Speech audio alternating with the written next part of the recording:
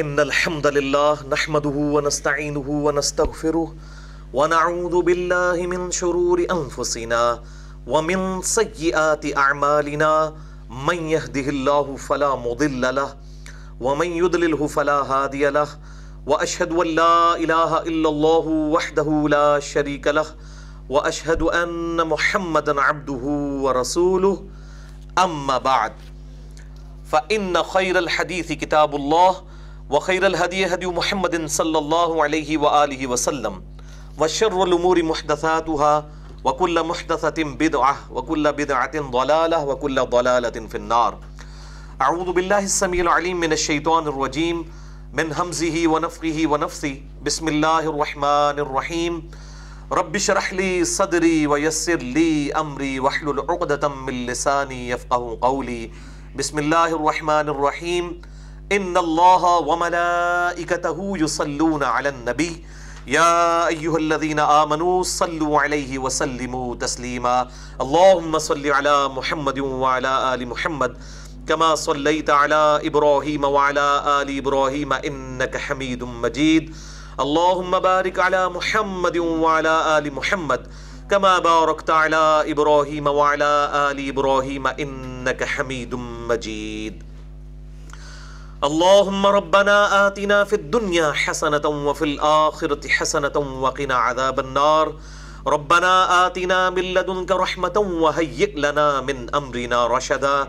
لا إله إلا أنت، سبحانك إني كنت من الظالمين.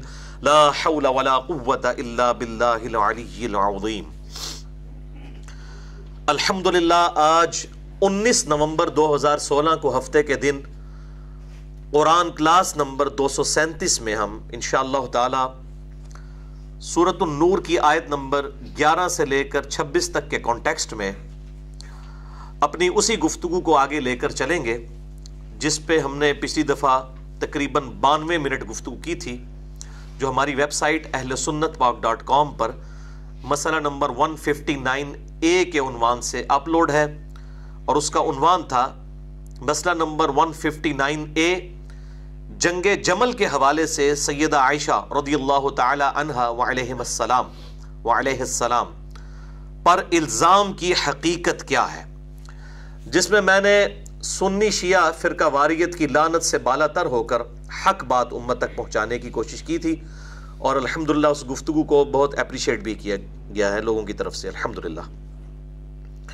آج انشاءاللہ تعالی اسی کا دوسرا حصہ ہوگا اور آخری حصہ مسئلہ نمبر 159 بی اور اس کا عنوان ہے سیدہ عائشہ رضی اللہ تعالی عنہ وعلیہ السلام کے فضائل اور سیدہ عائشہ رضی اللہ تعالی عنہ وسلام اللہ علیہ پر منافقین کے بہتان کی حقیقت کیا ہے؟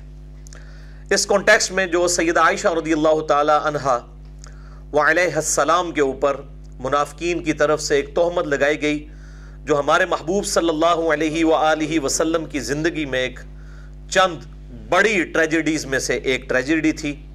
آپ صلی اللہ علیہ وآلہ وسلم کو بھی تقریباً ایک مہینے تک سخت تکلیف سے گزرنا پڑا۔ اسی کانٹیکسٹ میں سورت النور کی آیت نمبر گیارہ سے لے کر چھبیس تک سولہ آیات بھی نازل ہوئیں۔ اور اسی کانٹیکسٹ میں صحیح بخاری اور صحیح مسلم میں بڑی ڈیٹیلڈ حدیث موجود ہے، جسے ہم حدیث الافق کہتے ہیں، حدیث افق اور یہ حدیث انشاءاللہ ہم ورڈ بائی ورڈ آج کور کریں گے، کیونکہ اس حدیث کی روحانیت ہی اسی صورت میں ہے، جب سیدہ عائشہ رضی اللہ تعالی عنہ کے اپنے الفاظ ورڈ بائی ورڈ ڈسکس کیے جائیں۔ اور میں ساتھ ساتھ انشاءاللہ اپنا بے لاگ تبصرہ بھی کرتا جاؤں گا ہر جملے کے اوپر۔ تو آپ کو پتا چلے گا کہ اس حدیث اف کے اندر کتنے عقائد اور نظریات کی اصلاح کے حوالے سے موتی موجود ہیں، الحمدللہ۔ لیکن یہاں پر انصاف کا تقاضا یہ ہے کہ ہم اس موقع کو غنیمت سمجھتے ہوئے صحیح الاسناد احادیث کی روشنی میں سیدہ عائشہ رضی اللہ تعالی عنہ وعلیہ السلام کے جو فضائل آئے ہیں، ان کو بھی ڈسکس کریں۔ چنانچہ اسی حوالے سے جنت کے آٹھ دروازوں کی نسبت سے میں نے ارادہ کیا ہے کہ اما عائشہ رضی اللہ تعالی عنہ وعلیہ السلام کے فضائل میں آٹھ صحیح الاسناد احادیث ڈسکس کی جائیں اور ان میں سے سات احادیث صحیح بخاری اور صحیح مسلم سے ہیں اور ایک حدیث جو ہے وہ جامعہ ترمزی سے ہے۔ یعنی یہ سب کی سب گولڈن بکس سے احادیث ہیں، الحمدللہ۔ اور اس میں آٹھویں حدیث جو ہے وہ حدیث افق ہوگی انشاءاللہ، کیونکہ وہ بھی اما عائشہ رضی اللہ تعالی عنہ کے فضائل پر ہے۔ یہ اما کا لفظ جو ہم بولتے ہیں، تو اس حوالے سے بھی سمجھ لیں کہ سورت الاحزاب کی آیت نمبر سکس ہے۔ اعوذ باللہ من الشیطان الرجیم، بسم اللہ الرحمن الرحیم۔ النبی اولا بالمؤمنین من انفسہم۔ یہ نبی صلی اللہ علیہ وسلم مومنین کی جانوں پر، ان کی جانوں سے بڑھ کر حق رکھتے ہیں۔ وہ ازواج امہات اور نبی کی بیویاں ان امتیوں کی، ان اصحاب کی مائیں ہیں۔ تو آپ صلی اللہ علیہ وسلم کی بیویاں امت کی مائیں ہیں، آپ صلی اللہ علیہ وسلم امت کے روحانی باپ ہیں۔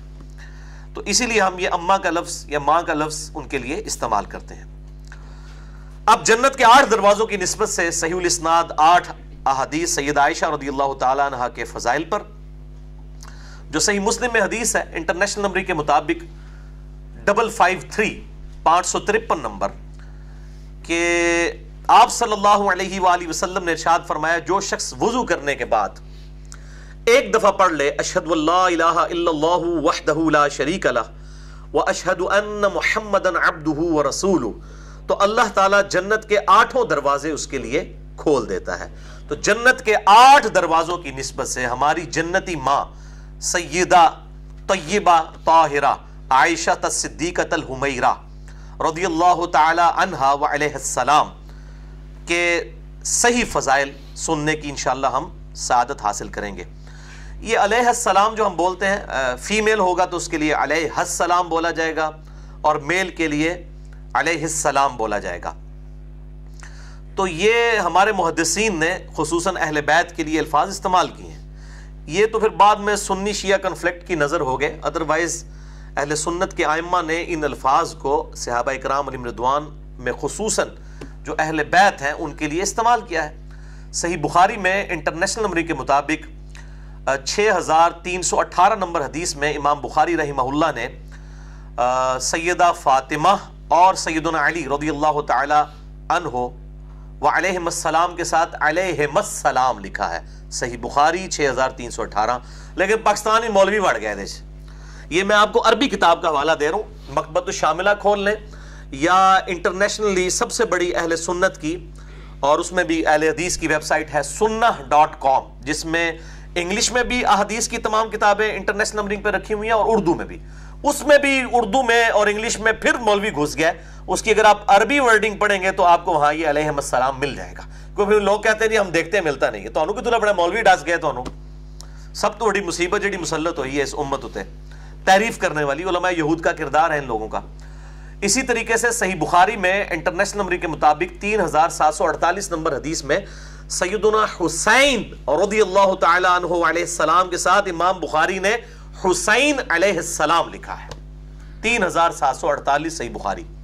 اور یہ صرف امام بخاری نہیں السنہ بداؤد میں انٹرنیشنل نمبر کے مطابق four six four six number حدیث جو ہے، چار ہزار چھ سو چھیالیس نمبر حدیث میں سیدنا علی کے ساتھ امام ابو دعود نے علی علیہ السلام لکھا ہے۔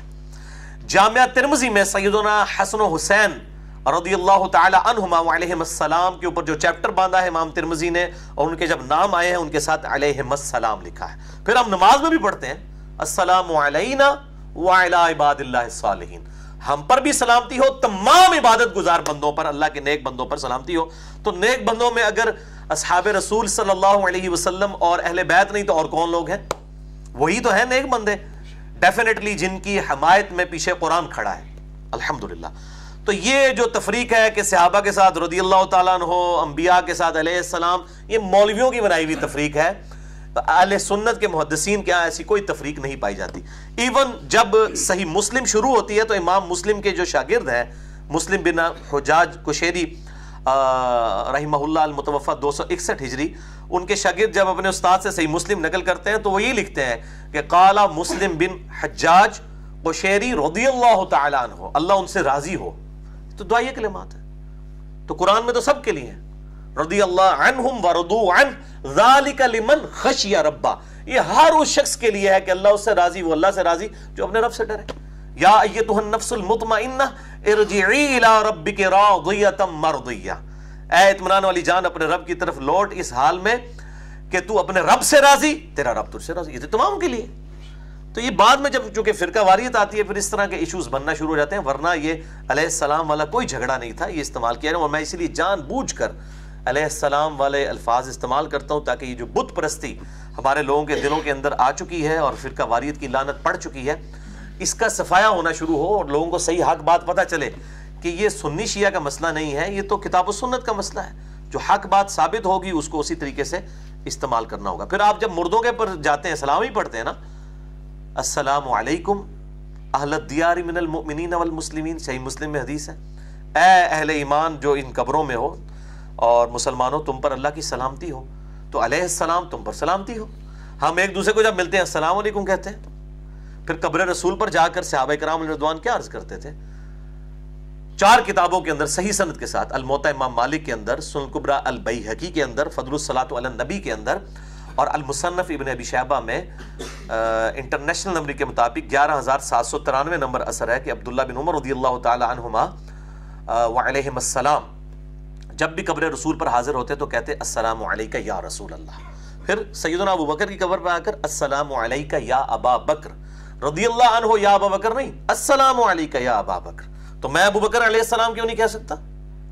پھر آگر اپنے باپ کی قبر پر، السلام علیکہ یا ابتا یا السلام علیکہ یا عمر۔ یہ دونوں الفاظ ملتے ہیں۔ تو یہ علیہ السلام والا مسئلہ بھی میں ساتھ ساتھ کلیئر کیونکہ میں بار بار بول رہا ہوں سیدہ عائشہ کے لیے تو بعض لوگوں کو تکلیف ہوگی کہ یہ کوئی نیا فرقہ کھڑا کر رہا ہے، نیا فرقہ نہیں ہے۔ آپ کے مولویوں نے جو گرد و غبار کے ذریعے اور اپنی جو انجیکشن لگا کر فرقہ واریت کے دین کو پلوٹڈ کر دیا تھا، الحمدللہ وہ تمام غبار اللہ تعالیٰ جو ہے وہ اپنے بندے اٹھاتا ہے، ان کے ذریعے ان چیزوں کو دور کرتا ہے۔ الحمدللہ۔ تو یہ آٹھ صحیح الاسناد احادیث سیدہ عائشہ رضی اللہ تعالی عنہ وسلام اللہ علیہ ان کی شان میں۔ اور یہ آٹھ کی آٹھ احادیث جو ہیں، سوائے ایک کے صحیح بخاری اور صحیح مسلم سے اکثر متفقن علیہ احادیث ہیں۔ اور میں ان کے نمبرز جو ہیں، وہ مشکات المصابی کے نمبر جو ہیں، وہ بتاؤں گا۔ کیونکہ مشکات المصابی از دی انسائکلوپیڈیا آف حدیث یہ میرے بھائیوں اس کے اوپر میں نے پورا لیکچر بھی دے دیا ہے، مسئلہ نمبر ایک سو گیارہ بی۔ مشکات المصابیح کا مکمل تعارف۔ میرے نزدیک یہ احادیث کا انسائکلوپیڈیا ہے۔ احادیث کی تمام اہل سنت کی جتنی مین کتابیں ہیں، بخاری، مسلم ابدو ترمزی نسائی، ابن ماجہ، اس کے علاوہ بھی تقریباً ٹوٹل تیرہ کتابوں سے کمبائنڈ فارم میں یہ جو ہے وہ کتاب ہے، مشکات المصابیح. یہ تحکیم اور تخریج کے ساتھ شیخ زبیر علی رحمہ اللہ و رضی اللہ تعالیٰ عنہ علیہ السلام کی تحکیم اور تخریج کے ساتھ پرنٹ ہوئی ہوئی ہے۔ ہماری ویب سائٹ اہل سنت پاک ڈاٹ کام پہ اس کے تین جلدوں کے، تینوں کے پی ڈی ایف رکھے ہیں، تقریباً اٹھارہ اٹھارہ ایم بی کی فائلز ہیں۔ تو میں اس کے نمبر بتا دوں گا، اس میں تخریج اور تحکیم ہوئی ہوئی ہے۔ بخاری مسلم کے نمبر بھی لکھیں تاکہ مشکات کی وجہ سے مجھے ٹائم میں بچت ہو جائے۔ تو بھائیو، پہلی حدیث صحیح بخاری اور صحیح مسلم کی متفقن علیہ حدیث ہے اور مشکات میں اس کا نمبر ہے چھ ہزار ایک سو اٹھاسی، سکس ون ڈبل ایٹ۔ کہ نبی صلی اللہ علیہ وآلہ وسلم ارشاد فرماتے ہیں کہ اے عائشہ، تم خواب میں مجھے دو مرتبہ دکھائی گئی۔ سفید ریشمی کپڑے میں فرشتے نے تمہیں اٹھایا ہوا تھا۔ اور مجھے آ کر خبر دی کہ اے اللہ کے محبوب صلی اللہ علیہ وآلہ وسلم، یہ آپ کی ہونے والی بیوی ہے۔ تو آپ صلی اللہ علیہ وسلم فرماتے ہیں کہ میرے دل میں یہ بات بیٹھ گئی کہ اب چونکہ یہ خواب اللہ کی طرف سے ہے، تو یقیناً عائشہ میرے عقد میں آئے گی۔ اور یہی ہوا۔ اللہ تعالیٰ نے وہ آپ صلی اللہ علیہ وسلم کا خواب پورا کر دیا۔ کیونکہ انبیاء کے خواب بخاری اور مسلم کی متفق علیہ حدیث ہے کہ وہی الہی ہوا کرتے ہیں۔ انبیاء کے خواب ڈیفینیٹ ہوتے ہیں، ان کے علاوہ چاہے کوئی صحابی کا خواب ہو، چاہے کوئی عام امتی کا، کوئی گارنٹی نہیں ہے کہ وہ واقعی اللہ کی طرف سے ہے یا شیطان کی طرف سے یا نفس کی طرف سے۔ لیکن انبیاء کے خواب جو ہیں، وہی الہی ہوتے ہیں۔ قرآن میں حضرت ابراہیم علیہ السلام کو جو خواب دکھایا گیا اسماعیل علیہ السلام کی قربانی کے حوالے سے، تو وہ خواب میں دکھایا گیا، ورنہ اتنا بڑا ایکٹ کے بیٹے کو قربان کرنے کے لیے تیار ہو جانا ڈیفینیٹ وہی کے بغیر تو ممکن نہیں ہے۔ تو ان کا خواب وہی الہی ہوا کرتا ہے۔ اچھا اسی حدیث کا ایک طریق جامعہ ترمزی میں اور صحیح ابن حبان میں بھی موجود ہے اور مشکات میں ہے 6191 نمبر۔ اسی حدیث کا طریق۔ اس میں الفاظ ہے کہ نبی صلی اللہ علیہ وسلم کے سامنے جبرائیل علیہ السلام بیداری میں، کیونکہ اس میں خواب کے الفاظ نہیں ہیں جبریل علیہ السلام سبز کپڑے میں جو ریشمی تھا، سیدہ عائشہ کی تصویر لے کر آئے اور یہ عرض کیا کہ ہاد ہی زوجتو کا فی دنیا والآخرہ۔ اے نبی صلی اللہ علیہ وسلم، یہ دنیا میں بھی اور آخرت میں آپ کی بیوی ہے الحمدللہ۔ اور یہ جو الفاظ ہے نا کہ دنیا اور آخرت میں آپ صلی اللہ علیہ وسلم کی بیوی ہے یہ جو ترمزی اور ابن حبان میں آئے اور مشکات میں، اتنے الفاظ صحیح بخاری میں بھی موجود ہیں۔ انٹرنیشنل نمبر کے مطابق سیونٹی ون ہنڈریڈ کتاب الفتن میں، جنگ جمل کے حوالے سے جو حدیث ہے، اور سیدہ عائشہ کے فضائل میں امام بخاری نے اسے پھر الگ سے تین ہزار سات سو بہتر نمبر حدیث انٹرنیشنل نمبر کے مطابق لی ہے کہ مولا علی رضی اللہ تعالیٰ عنہ علیہ السلام کے جو خاص شیعہ تھے۔ مولا کا مطلب ہے دلی محبوب، جو حدیث متواتر ہے، جس میں میں نے پورا لیکچر بھی دیا ہے، مسئلہ نمبر 156 غدیر خم کی حدیث پہ۔ من کن تو مولا ہو فہذا علی یون مولا ہو جس کا جگری یار میں، اس کا جگری یار علی بھی ہونا چاہیے۔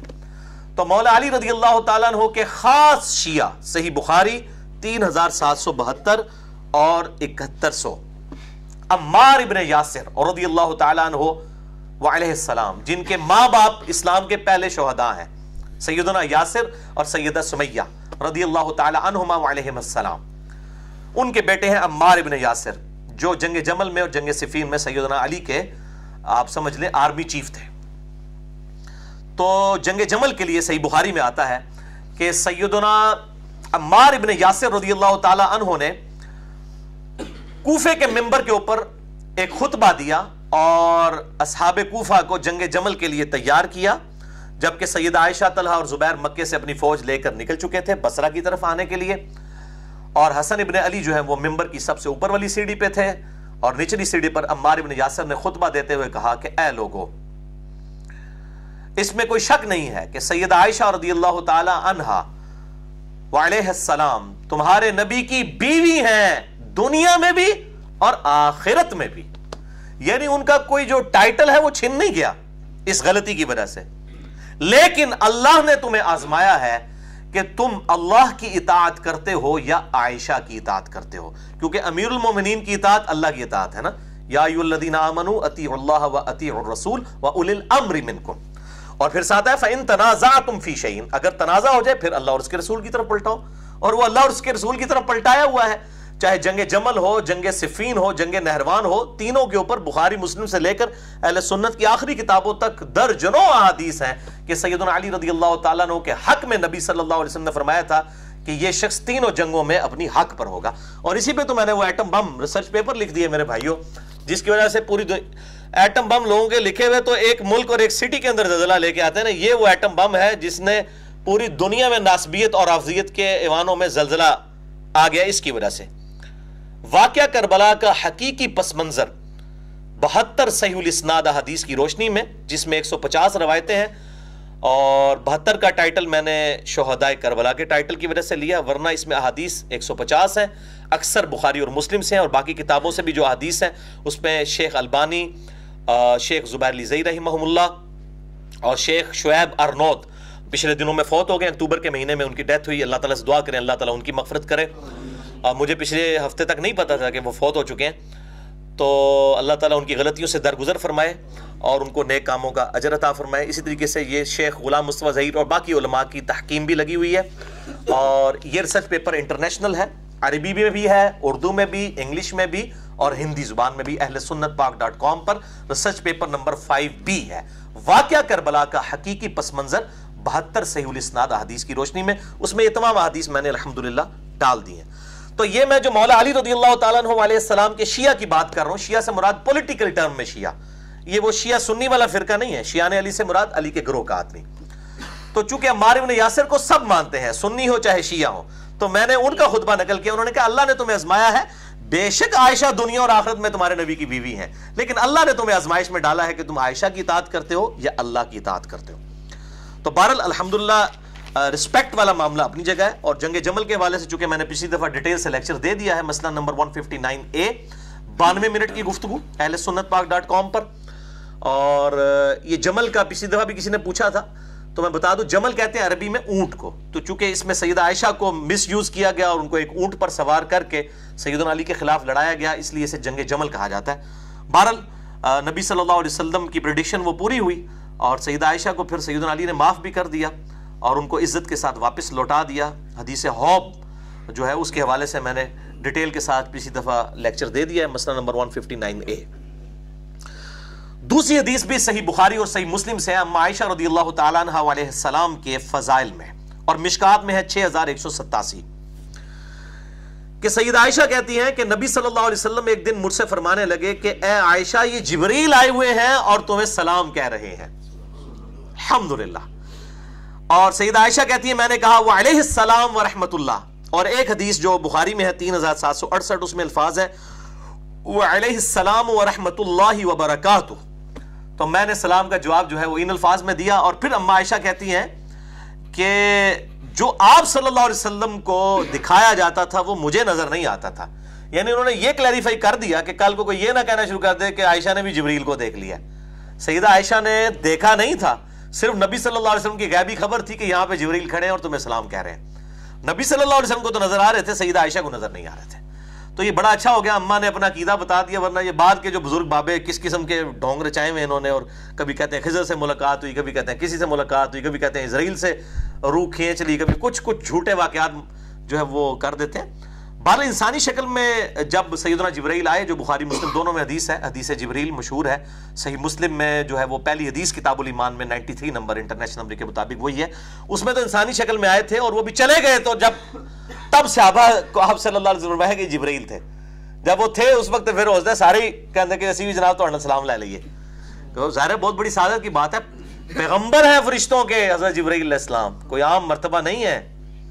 جس طرح انبیاء میں سردار ہیں ہمارے محبوب صلی اللہ علیہ وسلم، اس طرح فرشتوں میں سردار ہیں اور فرشتوں کے بھی پیغمبروں کے استاد ہیں سیدنا جبرائیل علی نبینا وعلیہ السلام۔ تو آپ نے فرمایا یہ جبرائیل تھے تو میں دین سکھانے کے لیے آئے تھے۔ صلی اللہ علیہ وآلہ وسلم وعلیہ السلام۔ تیسری حدیث بھی بخاری اور مسلم سے ہے۔ متفق علیہ حدیث ہے، مشکات میں اس کا نمبر ہے 6023 عمر ابن عاص رضی اللہ تعالیٰ نے کہتے ہیں کہ نبی صلی اللہ علیہ وسلم نے ایک غزوے میں مجھے امیر بنایا، کوئی آپ نے لشکر روانہ کیا اور اس میں مجھے امیر بنایا، تو مجھے یہ زوم ہوا کہ شاید میں کوئی نبی صلی اللہ علیہ وسلم کا بڑا خاص بندہ بن گیا ہوں۔ آپ صلی اللہ علیہ وسلم کا خاص صحابی بن گیا ہوں۔ تو کہتے ہیں میں نے بھی آ کے اسی تمکنت میں آ کے نبی صلی اللہ علیہ وسلم سے پوچھا کہ اے اللہ کے محبوب صلی اللہ علیہ وسلم، آپ کو سب سے بڑھ کر محبوب کون ہے؟ تو آپ صلی اللہ علیہ وسلم فرمایا، عائشہ رضی اللہ تعالی عنہ۔ پوچھا اس کے بعد، فرمایا، اس کا باپ ابو بکر رضی اللہ تعالیٰ عنہ علیہ السلام۔ پوچھا اس کے بعد، کہا، عمر رضی اللہ تعالیٰ عنہ علیہ السلام۔ پھر عمر بن عاص کہتے ہیں، میں پوچھتا رہا پوچھتا رہا، تو آپ صلی اللہ علیہ وسلم نے کئی اصحاب کے نام ذکر کیے۔ پھر میں اس ڈر سے خاموش ہو گیا کہ کہیں اس لسٹ میں آخری نمبر ہی نہ میرا آ جائے۔ پھر میں خاموش ہو گیا۔ تو اس میں بھی آپ صلی اللہ علیہ وسلم نے سیدہ عائشہ رضی اللہ تعالی عنہ سے اپنی محبت کا اظہار فرمایا۔ چوتھی حدیث بھی بخاری اور مسلم کی متفق علیہ حدیث ہے۔ دیکھ لیں، میں نے کہا تھا آٹھ کی آٹھ بخاری اور مسلم میں سوائے ایک ہے۔ اور مشکات میں ہے چھ ہزار ایک سو اناسی۔ انانوے، سکس ون ایٹ نائن۔ کہ صحابہ اکرام علیہ مردوان کہتے ہیں کہ ہم نبی صلی اللہ علیہ وسلم کو جب کوئی تحفہ دینا چاہتے تھے تو ہم انتظار کرتے تھے کہ سیدہ عائشہ کی باری کا دن جب آئے تو اس دن آپ صلی اللہ علیہ وسلم کے گھر میں ہم تحفہ بھیجیں۔ کیونکہ آپ صلی اللہ علیہ وسلم اس سے خوش ہوا کرتے تھے۔ آپ کی خاص ایک ایفیلیشن تھی سیدہ عائشہ کے ساتھ۔ اس کی ٹیکنیکل ریزن بھی ہے۔ میں نے پچھلی دفعہ بتایا تھا کہ جو آپ صلی اللہ علیہ وآلہ وسلم کی آئلی زندگی ہے، میاں بیوی کا ریلیشن شپ اور جو گھریلو معاملات ہیں، یہ سب کی سب سیدہ عائشہ کے ذریعے اکثر چیزیں جو ہیں وہ ٹرانسفر ہوئی ہیں آگے۔ اور آپ صلی اللہ علیہ وآلہ وسلم کے بعد فورٹی سیون ایئرس تک یہ زندہ رہی ہیں، اٹھاون ہجری میں فوت ہوئی ہیں۔ اور مدینہ شریف میں بقی غرکت میں ان کا مدفن موجود ہے۔ تو صحابہ کہتے ہیں، ہم وہ دن تلاش کرتے تھے۔ تو اب ظاہر ہے، وہ سوکنے تھیں جیلسی فیکٹر تھا۔ سیدہ عائشہ کہتی ہیں کہ آپ صلی اللہ علیہ وسلم کی بیویوں میں دو گروپ بنے ہوئے تھے۔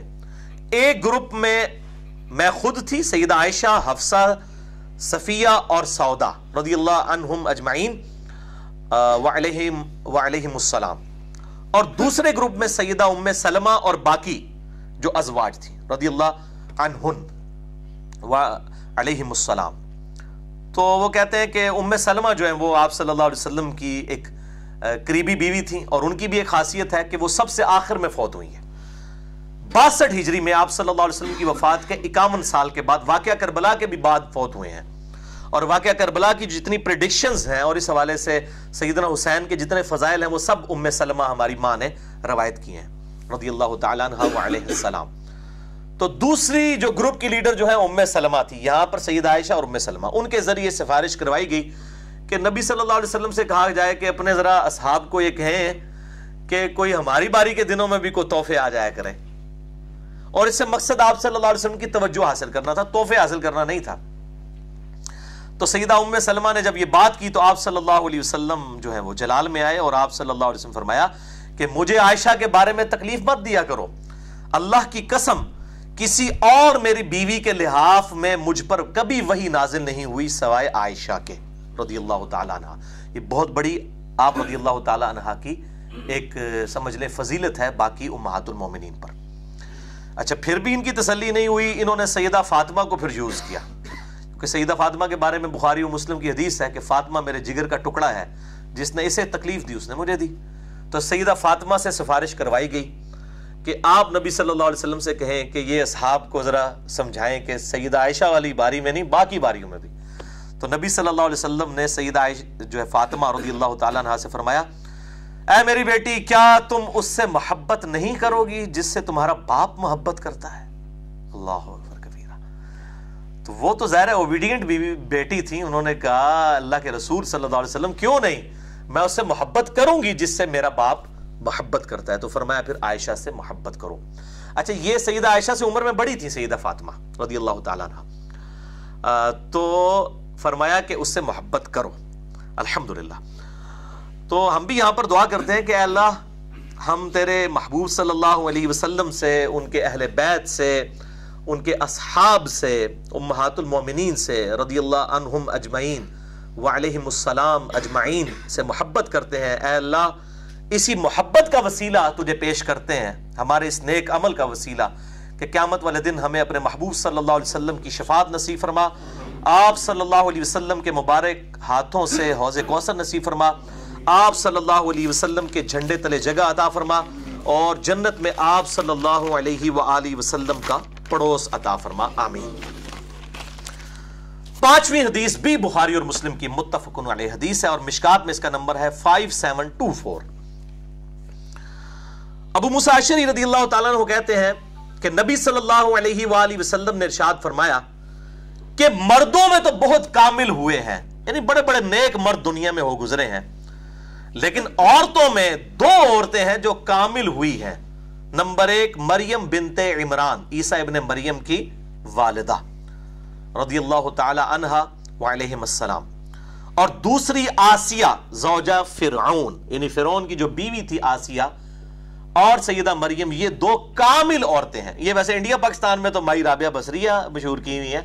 ادی کلندر تھے وہ۔ یہ میں آپ کو احادیث والی بتا رہا ہوں۔ کون سی کامل عورتیں ہیں؟ سیدہ مریم رضی اللہ تعالی عنہ اور سیدہ آسیہ رضی اللہ تعالی عنہ وعلیہم السلام۔ اور پھر آپ صلی اللہ علیہ وسلم فرمایا کہ عائشہ کی فضیلت باقی عورتوں پر ویسی ہے جیسا کہ فرید کی فضیلت باقی کھانوں پر ہے۔ آپ صلی اللہ علیہ وسلم کو فرید بڑا پسند تھا۔ سرید کہتے ہیں چوری کوٹ کر شوربے میں ڈال کر اس کو کھانا۔ تو آپ صلی اللہ علیہ وسلم نے کمپیریزن کیا کہ جس طرح مجھے کھانے میں یہ چیز پسند ہے، اسی طریقے سے اپنی باقی بیویوں کی نسبت عائشہ مجھے زیادہ پسند ہے۔ الحمدللہ۔ بہرحال اس میں جو طارق جمید صاحب، میں ان کی بڑی عزت کرتا ہوں اور میں اسے مجاہد سمجھتا ہوں، جس طریقے سے دیوبندیت کے اندر یزیدیت اور ناسبیت کا فتنہ اٹھا، اس کے خلاف جس طریقے سے وہ ڈھال بنے ہوئے ہیں طارق جمید صاحب، اللہ تعالیٰ ان کو جزائے خیر عطا فرمائے۔ ان کی بڑی عزت کرتا ہوں، لیکن انہوں نے ایک لیکچر میں بیان کر دیا کہ جی یہ جو سیدہ مریم ہے اور سیدہ آسیہ جو ہیں، رضی اللہ تعالیٰ عنہما علیہ السلام، یہ جنت میں نبی صلی اللہ علیہ وسلم کی بیویاں ہوں گی۔ تو میرے بھائی، اس میں کوئی صحیح حدیث موجود نہیں ہے کہ یہ جنت میں آپ کی بیویاں ہوں گی۔ صلی اللہ علیہ وآلہ وسلم، تو اس میں بڑی احتیاط کرنی چاہیے۔ بہرحال، جہاں تک جنتی عورتوں کے سردار والا ایشو ہے نا، تو وہ میرے بھائیوں بالکل کلیئر ہے۔ صحیح بخاری اور صحیح مسلم کی متفق علیہ حدیث ہے۔ اور مشکات میں اس کا نمبر ہے 6138 بخاری مسلم دونوں میں ہے۔ کہ اپنے وفات سے کچھ عرصہ پہلے سیدہ فاطمہ کو بلا کر آپ صلی اللہ علیہ وسلم نے کان میں ایک بات کہی تو وہ رو پڑی اور پھر ایک بات کہی تو ہنس پڑی۔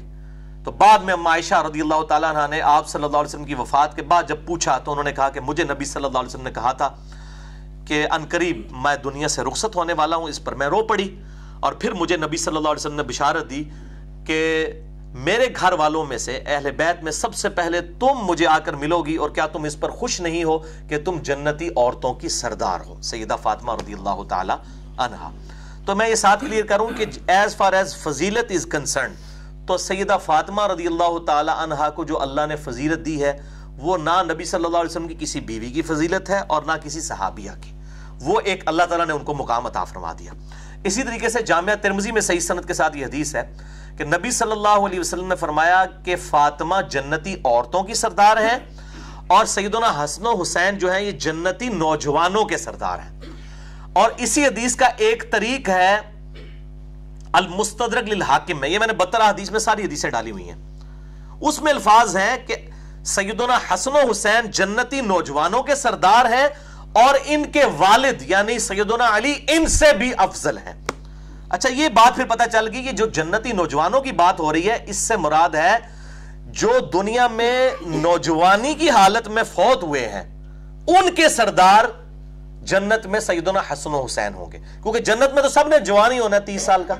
تو ایک سر لوگ پوچھ بھی رہے ہوتے ہیں، میں کلیئر کر رہا ہوں کہ جنتی نوجوانوں سے مراد جو دنیا میں نوجوانی کی حالت سے گئے، ان کے سردار ہوں گے سیدنا حسن و حسین رضی اللہ تعالیٰ عنہما علیہ السلام۔ اور ساتھ المستدرک للحاکم میں ہے کہ ان کے والد ان سے بھی افضل ہیں۔ اچھا اگر وہ جنتی سردار ہیں تو سردار سے افضل وہی شخص ہو سکتا ہے کہ جب وہ کسی اور کیٹیگری میں فال کر رہا ہو۔ ورنہ سیدنا علی بھی ان کے انڈر آ جاتے۔ تو اس سے مراد ہے جو جنتی نوجوان، جو دنیا میں نوجوانی کی حالت سے گئے ان کے سردار سیدنا حسن حسین ہے اور جو دنیا میں بڑھاپے کی حالت میں گئے تو اس میں بھی حدیث موجود ہے۔ اور خود مولا علی علیہ السلام سے حدیث ہے سن ابن ماجہ میں۔ اور جامع ترمزی میں بھی موجود ہے کہ سیدنا علی کہتے ہیں کہ نبی صلی اللہ علیہ وسلم نے فرمایا اور انس ابن مالک سے بھی روایت ہے کہ ابو بکر اور عمر رضی اللہ تعالی عنہما تمام جنتی بوڑھوں کے سردار ہوں گے سوائے انبیاء اکرام علیہ السلام کے۔ اب اس نے مزید کلیئر کر دیا کہ انبیاء پھر باہر ہو گئے۔ انبیاء کے سردار حسن و حسین بھی نہیں ہے مولا علی بھی نہیں ہے مولا ابو بکر اور مولا عمر بھی نہیں ہے جنتی جو بوڑھے ہوں گے یعنی دنیا میں جو بڑھاپے کی حالت سے گئے ادر دین انبیاء، اس حدیث میں الفاظ ہے ادر دین پروفٹس ان کے سردار ہوں گے سیدنا ابو بکر اور عمر۔ اس کیٹیگری میں سیدنا علی آتے ہیں، رضی اللہ تعالیٰ عنہ علیہ السلام۔ تو یہ میں نے وہ مسئلہ افضلیت کے حوالے سے بھی کلیئر کر دیا، باقی ہم تو سب کا احترام کرتے ہیں۔ اور مجھ سے اکثر لوگ جو ہیں، وہ مسئلہ افضلیت کے حوالے سے پوچھ رہے ہوتے ہیں، تو میں تو کئی جگہ اس کی ریکارڈنگ کروا بھی چکا ہوں۔ یہ بہتر حدیث میں بھی میں نے وہ حدیث نقل کر دی ہے، میں آپ کو بتا بھی دیتا ہوں۔ سیدنا علی سے ہی خود ہے۔ میرا وہی عقیدہ جو مولا علی کا عقیدہ ہے۔ صحیح بخاری میں انٹرنیشنل نمبر کے مطابق تین ہزار چھ سو اکہتر، تھری سکس سیون ون سیدنا ابو بکر کے فضائل کے چیپٹر میں امام بخاری لے کے ہیں اس حدیث کو کہ نبی صلی اللہ علیہ وسلم کہ محبوب ترین صحابی سیدنا مولا علی رضی اللہ تعالی عنہ علیہ السلام سے ان کا اپنا بیٹا محمد بن حنفیہ پوچھتا ہے۔ جو حنفیہ نامی عورت، جو سیدہ فاطمہ کی وفات کے بعد اس سے شادی کی، اس سے جو بیٹا تھا۔ وہ پوچھتا ہے، ابا جان، بتائیے کہ اس امت میں رسول اللہ صلی اللہ علیہ وسلم کے بعد سب سے افضل کون ہے؟ تو مولا علی نے کہا کہ ابو بکر رضی اللہ تعالیٰ عنہ علیہ السلام۔ وہ کہتے ہیں، پھر میں نے پوچھا، اس کے بعد؟ تو انہوں نے کہا کہ عمر۔ تو کہتے ہیں، میں نے اب خدشہ ہوا کہ اب میں تیسری دفعہ پوچھوں گا تو عثمان کا نام لیں گے۔ تو میں نے کہا کہ ابو بکر، عمر کے بعد تو پھر آپ ہی ہوں گے نا؟ اللہ اکبر۔ سیدنا علی نے آجزی فرمائی۔ اور کہا کہ میں تو عام مسلمانوں میں سے ایک مسلمان ہوں۔ الحمدللہ۔ ومن احسن قولا ممن دعا الى اللہ وعمل صالحا وقال اننی من المسلمین سورہ حامیم السجدہ جسے سورہ فصلت بھی کہتے ہیں، یہ اس کی آیت ہے۔ اس سے بڑھ کر کس کی بات اچھی ہو سکتی ہے جو لوگوں کو اللہ کی طرف بلائے؟ یعنی قرآن کی طرف، سنت کی طرف بلائے۔ اور خود بھی نیک اعمال کرے اور پھر بھی کہے کہ میں بھی عام مسلمان ہوں۔ تو یہ ان کی آجزی تھی کہ سیدنا علی نے کہا کہ میں تو عام مسلمانوں میں سے ایک مسلمان ہوں، لہٰذا مسئلہ افضلیت بھی اس حوالے سے کلیئر ہوا۔ بہرحال اہل سنت میں کئی آئمہ ایسے ہیں کہ جو سیدنا علی کو جو ہے سیدنا عثمان سے یا سیدنا ابو بکر اور عمر سے افضل سمجھتے ہیں، چاہے وہ امام عبدالرزاق ہوں یا امام حاکم ہو یا اور ائمہ ہو تو یہ کوئی سنی شیعہ کنفلکٹ اس پہ نہیں آ جاتا۔ یہ ایک ضمنی مسئلہ ہے۔ اور اس میں اگر کوئی اختلاف کر لے تو مطلب احترام کے دائرے کے اندر اختلاف رائے ہو سکتا ہے۔ بہرحال یہ نہیں ہونا چاہیے کہ ایک صحابی کی شان بیان کرتے ہوئے دوسرے کو کنڈیم کیا جائے۔ خلفہ راجدین کی میں بات کر رہا ہوں۔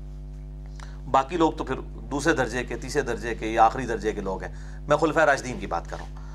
تو میں نے اپنا پوائنٹ آف ویو اس حوالے سے الحمدللہ کلیئر کر دیا۔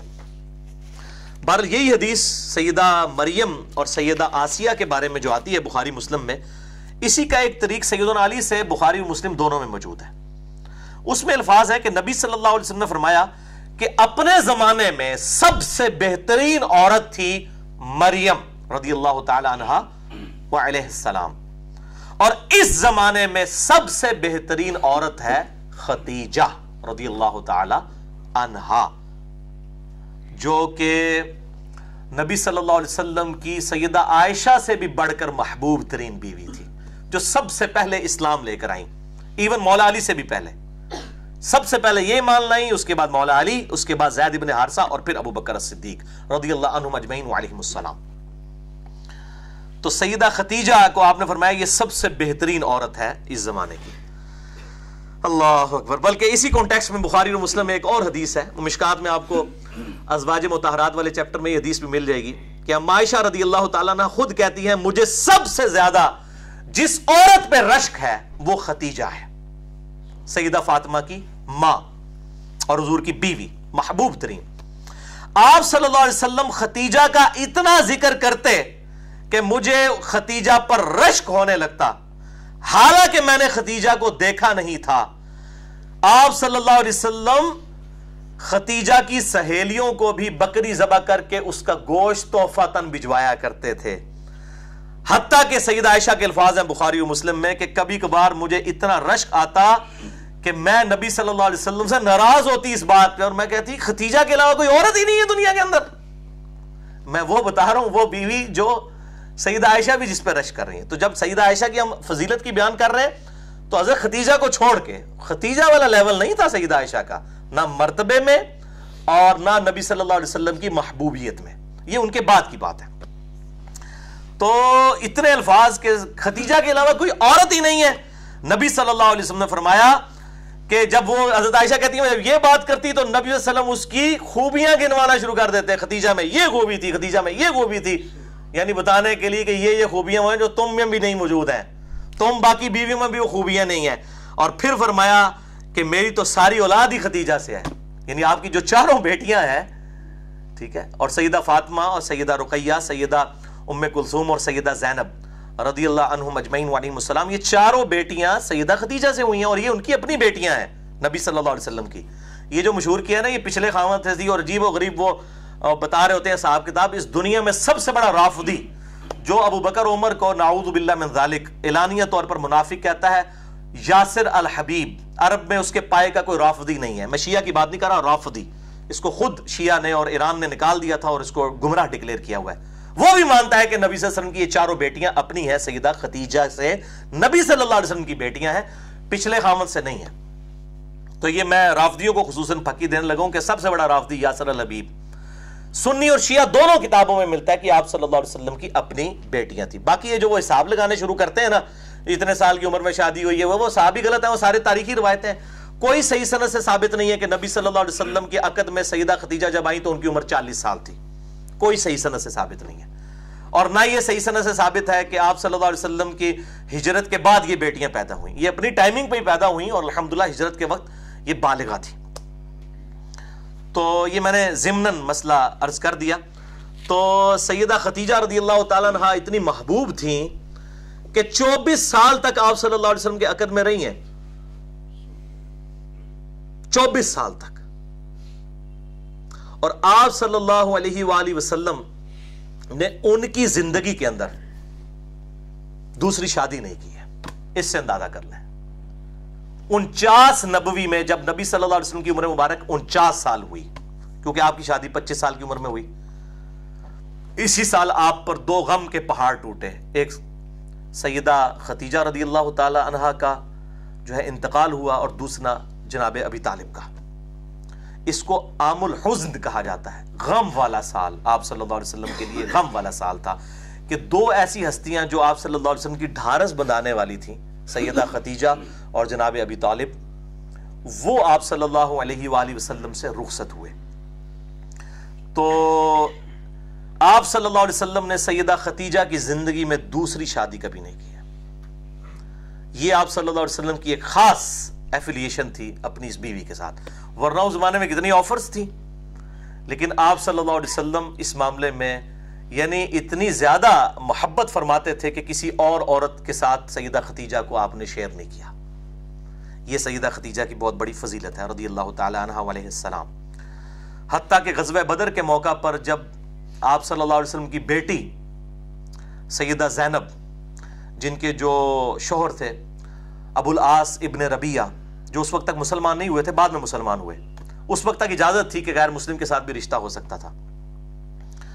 تو یہ خاون تھے، سیدہ زینب کے خاون جو ہے وہ قید ہو کر غزوہ بدر میں کافروں کی طرف سے لڑتے ہوئے قیدی بنا کر لائے گئے۔ اب فدیے سے چھڑانے کے لیے ظاہر کچھ رقم ادا کر رہی تھی، تو سب لوگ رقم دے رہے تھے۔ تو اب سیدہ زینب کے وہ چکے ہسبینڈ تھے تو انہوں نے اپنے خامند کا فدیہ دینے کے لیے اپنا وہ ہار دیا جو سیدہ ختیجہ نے اپنی بیٹی کو پہنایا تھا، سیدہ زینب کو۔ وہ ہار جب نبی صلی اللہ علیہ وسلم کے سامنے آیا تو آپ صلی اللہ علیہ وسلم کی آنکھوں میں آنسو آ گئے۔ آپ کو حضرت ختیجہ یاد آئی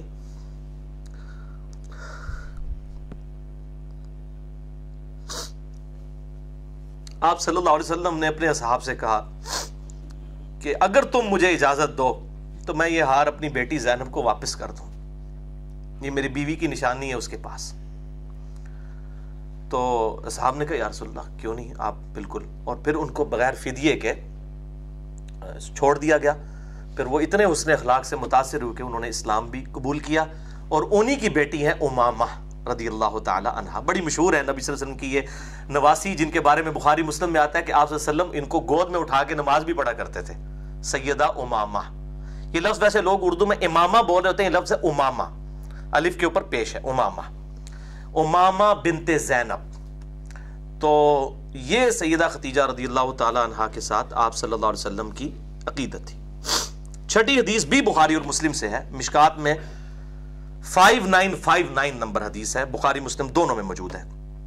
اب معائشہ رضی اللہ تعالیٰ عنہ کہتی ہیں کہ نبی صلی اللہ علیہ وسلم کی وفات میری گود میں ہوئی۔ میری یہ جو آپ سمجھ لیں گلا اور سینہ، اس کے درمیان آپ صلی اللہ علیہ وسلم کا سر مبارک تھا۔ اس حال میں آپ صلی اللہ علیہ وسلم کی وفات ہوئی اور کہتی ہیں کہ میرے لیے فضیلت ہے کہ آپ صلی اللہ علیہ وسلم کی وفات سے پہلے اللہ تعالیٰ نے میرا تھوک اور نبی کا تھوک ایک جگہ پر جمع کر دیا۔ اور بتایا وہ اس لیے کہ میرا بھائی عبد الرحمان اسی حالت میں آیا، اس کے ہاتھ میں مسواک تھی اور آپ عالم نظا میں تھے۔ تو آپ نے اشارہ کیا، تو وہ مسواک آپ سب نے اپنے منہ میں ڈالی یعنی مسواک کے ساتھ آپ کی اتنی عقیدت تھی، امت کو درس دینا تھا۔ بخاری مسلم میں حدیث ہے، اگر مجھے امت کی تکلیف کا خیال نہ ہو تو میں مسواک کا حکم دے دوں، فرض کر دوں۔ اور ظاہر ہے یہ جو ٹوتھ پیسٹ یا برش ہم استعمال کرتے ہیں، یہ اسی میں داخل ہے۔ کیونکہ صفائی نصف ایمان ہے، صحیح مسلم میں حدیث ہے پانچ سو چونتیس نمبر۔ تو اس کی جو بھی ماڈرن فارم استعمال ہوگی، یہ علماء نے خام خواہ ایک اس کو عجیب و غریب مسئلہ بنا دیا ہے۔ یہ صابن جو ہم استعمال کرتے ہیں، اس کی جگہ کبھی علماء نہیں کہتے صابن استعمال نہ کریں، مٹی استعمال کریں۔ لیکن جب ٹوتھ برش کی باری آتی ہے، فوراً کہتے ہیں جی برش چھوڑ دیں، آپ مسواک استعمال کریں۔ تو اصل مقصد ہے دانتوں کی صفائی، تاکہ منہ سے بدبو نہ آئے اور دانت جب نہیں ہوتے ہیں، ظاہر ہے جب بوڑھا ہو جاتا ہے، دانت گرتے ہیں تو جب کھانا کھائے تو وہ دانتوں کا کام بھی میدے کو کرنا پڑتا ہے۔ میدا ڈسٹرب صحت ختم ہو جاتی ہے انسان کی۔ اس لیے نبی صلی اللہ علیہ وسلم بڑی اہمیت دلاتے تھے۔ دانتوں کی صفائی کے اوپر اہمیت ہے، نہ کہ صرف مسواک کرنے کے اوپر۔ مسواک کریں بہت افضل بات ہے۔ لیکن اگر کوئی ٹوتھ برش بھی استعمال کرتا ہے اور دانتوں کی صفائی کی نیت ہے تو اس کو اجر ملے گا۔ جس طرح صابن کے ذریعے صفائی ہے۔ تو سید عبد الرحمان ابی بکر نے وہ مسواک دی، نبی صلی اللہ علیہ وسلم نے اپنے مبارک منہ میں چبائی تو بڑی سخت تھی۔ تو سیدہ عائشہ کہتی ہیں کہ آپ سب سے چبائی نہیں گئی۔ کمزوری کی وجہ سے۔ تو کہتی ہیں، میں نے وہ مسواک لی، میں نے اسے نرم کیا اور پھر نبی صلی کے مبارک منہ میں داخل کی اور کہتی ہیں، الحمدللہ، حضور کا تھوک اور میرا تھوک ایک جگہ پر جمع ہو گیا۔ جب حضور کا تھوک مبارک اس کو لگا تو سیدہ عائشہ کے منہ میں آیا۔ اور سیدہ عائشہ کا جب تھوک اس کے اوپر لگا، وہ نبی صلی اللہ علیہ وسلم کے منہ کے اندر کیا الحمدللہ۔ بلکہ بخاری مسلم میں حدیث ہے، سیدہ عائشہ کہتی ہیں کہ نبی صلی اللہ علیہ وسلم، جب کبھی کوئی پانی تناول فرمایا کرتے تھے، پہلے مجھے دیتے اور میں برتن سے پیتی تو جس جگہ میں منہ لگا کے پیتی، اس جگہ سے حضرت وسلم منہ لگا کے پانی کو پیا کرتے تھے اور اتنی محبت فرمایا کرتے تھے۔ الحمدللہ۔ بہرحال اس حوالے سے جو آپ صلی اللہ علیہ وسلم کی وفات کے حوالے سے جو ڈیٹیل چیپٹر ہے، وہ مشکات میں آپ کو مل جائے گا انٹرنیشنل نمبر کے مطابق۔ پانچ ہزار نو سو چھپن سے لے کر پانچ ہزار نو سو بہتر تک سترہ احادیث ہیں وفات النبی کے ٹاپک کے اوپر۔ اور ایک الگ سے بھی کتاب ہے۔ وہ ہے میرے بھائیوں سنن نسائی القبرہ کا یہ چیپٹر وفات النبی صلی اللہ علیہ وآلہ وسلم۔ امام احمد بن شعیب نسائی رحمہ اللہ تعالی المتوفہ تین سو تین ہجری، انہوں نے کتاب لکھی تھی سنن نسائی القبرہ بڑی سنن نسائی۔ اس میں مختلف چیپٹرز تھے جو اب الگ سے آنا شروع ہیں۔ اس وقت جو ہمارے پاس سنن نسائی ہے، وہ سنن نسائی الصغرہ ہے۔ وہ اسی کی آپ سمجھ لیں، اس میں سے ڈیٹیکٹ کی گئی ہے۔ اسی کا ایک چیپٹر ہے وفات النبی صلی اللہ علیہ وسلم۔ اسی طریقے سے اسی کا ایک چیپٹر ہے خصائص علی۔ یہ، جس میں سید علی کے فضائل پر امام نسائی نے ایک سو چورانوے احادیث ناسمیوں کے رد پر لکھی۔ کیونکہ وہ جب دمشق میں گئے تو وہاں سید علی سے نفرت کا اظہار کیا جاتا تھا، پھر سید علی کے فضائل پہ انہوں نے یہ کتاب لکھی۔ یہ بھی اس سنن نسائی القبرہ کا چیپٹر ہے۔ اسی طریقے سے اسی کا چیپٹر ہے، فضائل قرآن بھی، فضائل صحابہ بھی، کئی چیپٹرز الگ سے آ چکے ہیں۔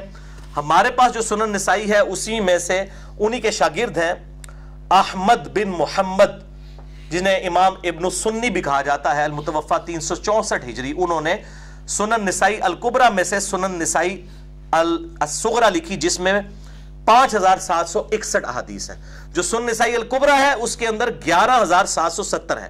وہ عربی میں ہے اب یہ اس کے چیپٹرز جو ہیں ہمارے جیرم شہر سے جو ہے وہ چھپنے شروع ہوئے ہیں۔ اس لیے میں نے ان کا تعارف بھی کروا دیا۔ اور مشکات میں بھی اگر آپ کو سنن نسائی کا حوالہ ملے، بعض کا تو وہ نسائی میں حدیث ہی نہیں ملتی، کیونکہ وہ سنن نسائی القبرہ کا حوالہ دیتے ہیں۔ اصل کتاب وہ تھی۔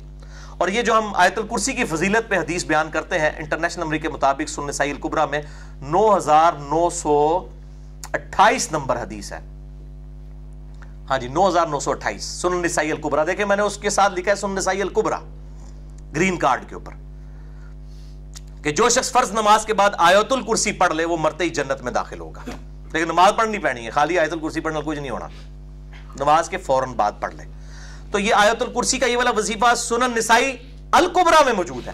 اور لوگ کہتے ہیں، آپ جی نو ہزار نو سو اٹھائیس بتا رہے ہیں، اس میں تو حدیث ہی پانچ ہزار سات سو اکسٹھ ہے تو بھائی، میں بولتا بھی ہوں، لکھتا بھی ہوں سنن نسائی القبرہ جو بڑی سنن نسائی ہے۔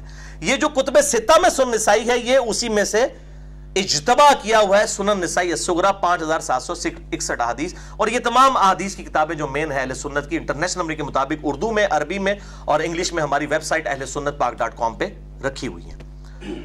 تو ایون یہ مشکات والے جب اس کا تعارف کرواتے ہیں جب مشکات میں سن نسائی کا حوالہ ملتا ہے تو وہ القبرہ کا ہی ہوتا ہے۔ وہ آپ کو سغرہ میں کئی احادیث نہیں ملیں گی جو القبرہ کے اندر ہے اسی کا یہ چیپٹر ہے وفات النبی۔ یہ میں انشاءاللہ اس کے اوپر پورا الگ سے لیکچر بھی دوں گا۔ بلکہ میرا خیال ہے، میں سوچ رہا تھا ربیع الاول شریف کا مہینہ آنے والا ہے۔ تو تین سال پہلے ہم نے حیات النبی پہ لیکچر دیا تھا۔ اس دفعہ میرا خیال ہے ہم وفات النبی کے اوپر ایک لیکچر رکھتے ہیں۔ کہ آپ صلی اللہ علیہ وسلم کو غسل کس نے دیا؟ آپ صلی اللہ علیہ وسلم کا کفن مبارک کیسا تھا؟ آپ کو قبر مبارک میں کس نے اتارا؟ کیسے معاملات ہوئے؟ چلو جی، یہ بھی ڈن ہو گیا۔ یہ اچانک ابھی میرے دماغ میں بات آئی ہے، وفات النبی، اس کتاب کی وجہ سے۔ تو وفات النبی ایک پورا چیپٹر ہے، سنن نسائی القبرہ کا، جو اردو میں چھپ چکا ہے۔ شیخ غلام مصطفیٰ ظہیر صاحب کی تحکیم کے ساتھ۔ اور یہ میں نے آپ کو دکھا بھی دیا۔ یہ کتاب جو ہے میرے بھائیوں، یہ اسی کا چیپٹر ہے۔ اس میں پوری ڈیٹیل ہے کہ آپ صلی اللہ علیہ وسلم کا جنازہ کس طرح پڑا گیا۔ یہ پبلک مشہور ہے جی، جنازہ ہی نہیں ہوا۔ یہ بات صحیح ہے کہ جنازہ اس طرح نہیں ہوا کہ ایک امام آگے ہو اور پیچھے مقتدی ہو وہ جگہ ہی بہت تنگ تھی، صحابہ نے پروٹوکول دیا۔ ایک ہی صف کی جگہ تھی۔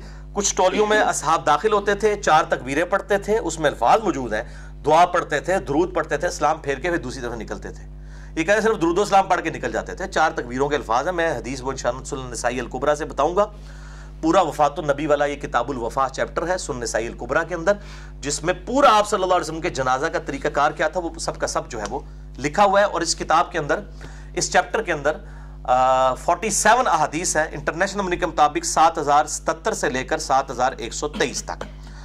تو اسی کی تحکیم کے دوران شیخ غلام مصفہ ظہیر صاحب نے ایک بات لکھ دی۔ میں چونکہ سیدہ عائشہ کے اوپر ڈسکشن ہے اور شیعہ سنی کنفلکٹ بھی اس حوالے سے ہے، میں اس کو کلیئر بھی کر دوں۔ ویسے انہوں نے الگ سے بھی السنہ پندرہ نمبر میں بھی یہ بات لکھی تھی اور اس میں بھی مسند امام احمد کے حوالے سے لکھ دیا ہے۔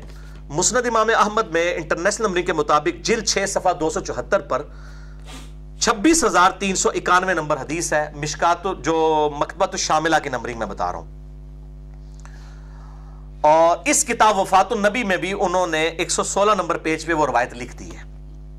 سیدہ عائشہ رضی اللہ تعالی عنہا کے حوالے سے کہ یہی الفاظ جو بخاری مسلم میں مسند احمد میں بھی موجود ہیں۔ اور اس حدیث کو شیخ شعیب ارنود بھی صحیح کہتے ہیں، رحمہ اللہ تعالیٰ، چونکہ اب وہ فوت ہو چکے ہیں۔ اور شیخ غلام مصوع ظہیر صاحب زندہ ہیں حافظ اللہ تعالیٰ۔ تو انہوں نے بھی اس حدیث کو صحیح کہا ہے۔ السنہ پندرہ نمبر کے اندر بھی لکھا اور وفات النبی کی تحکیم کے دوران ایک سو سولہ نمبر پیج پہ، السنہ پندرہ نمبر میں فورٹی نائن نمبر پیج پہ۔ کہ سیدہ عائشہ کہتی ہیں، وہی الفاظ بخاری مسلم کے جو ہیں کہ آپ صلی اللہ علیہ وسلم کی وفات میری گود میں ہوئی، آپ صلی اللہ علیہ وسلم کا سر مبارک جو ہے وہ میرے گلے اور سینے کے درمیان تھا۔ مسند احمد میں آگے الفاظ جو ہے وہ موجود ہیں، وہ میں آپ کو الفاظ بتا دیتا ہوں۔ کہ سید عائشہ کہتی ہیں کہ رسول اللہ صلی اللہ علیہ وسلم کی وفات میرے حلق اور سینہ کے درمیان میری باری کے دن ہوئے۔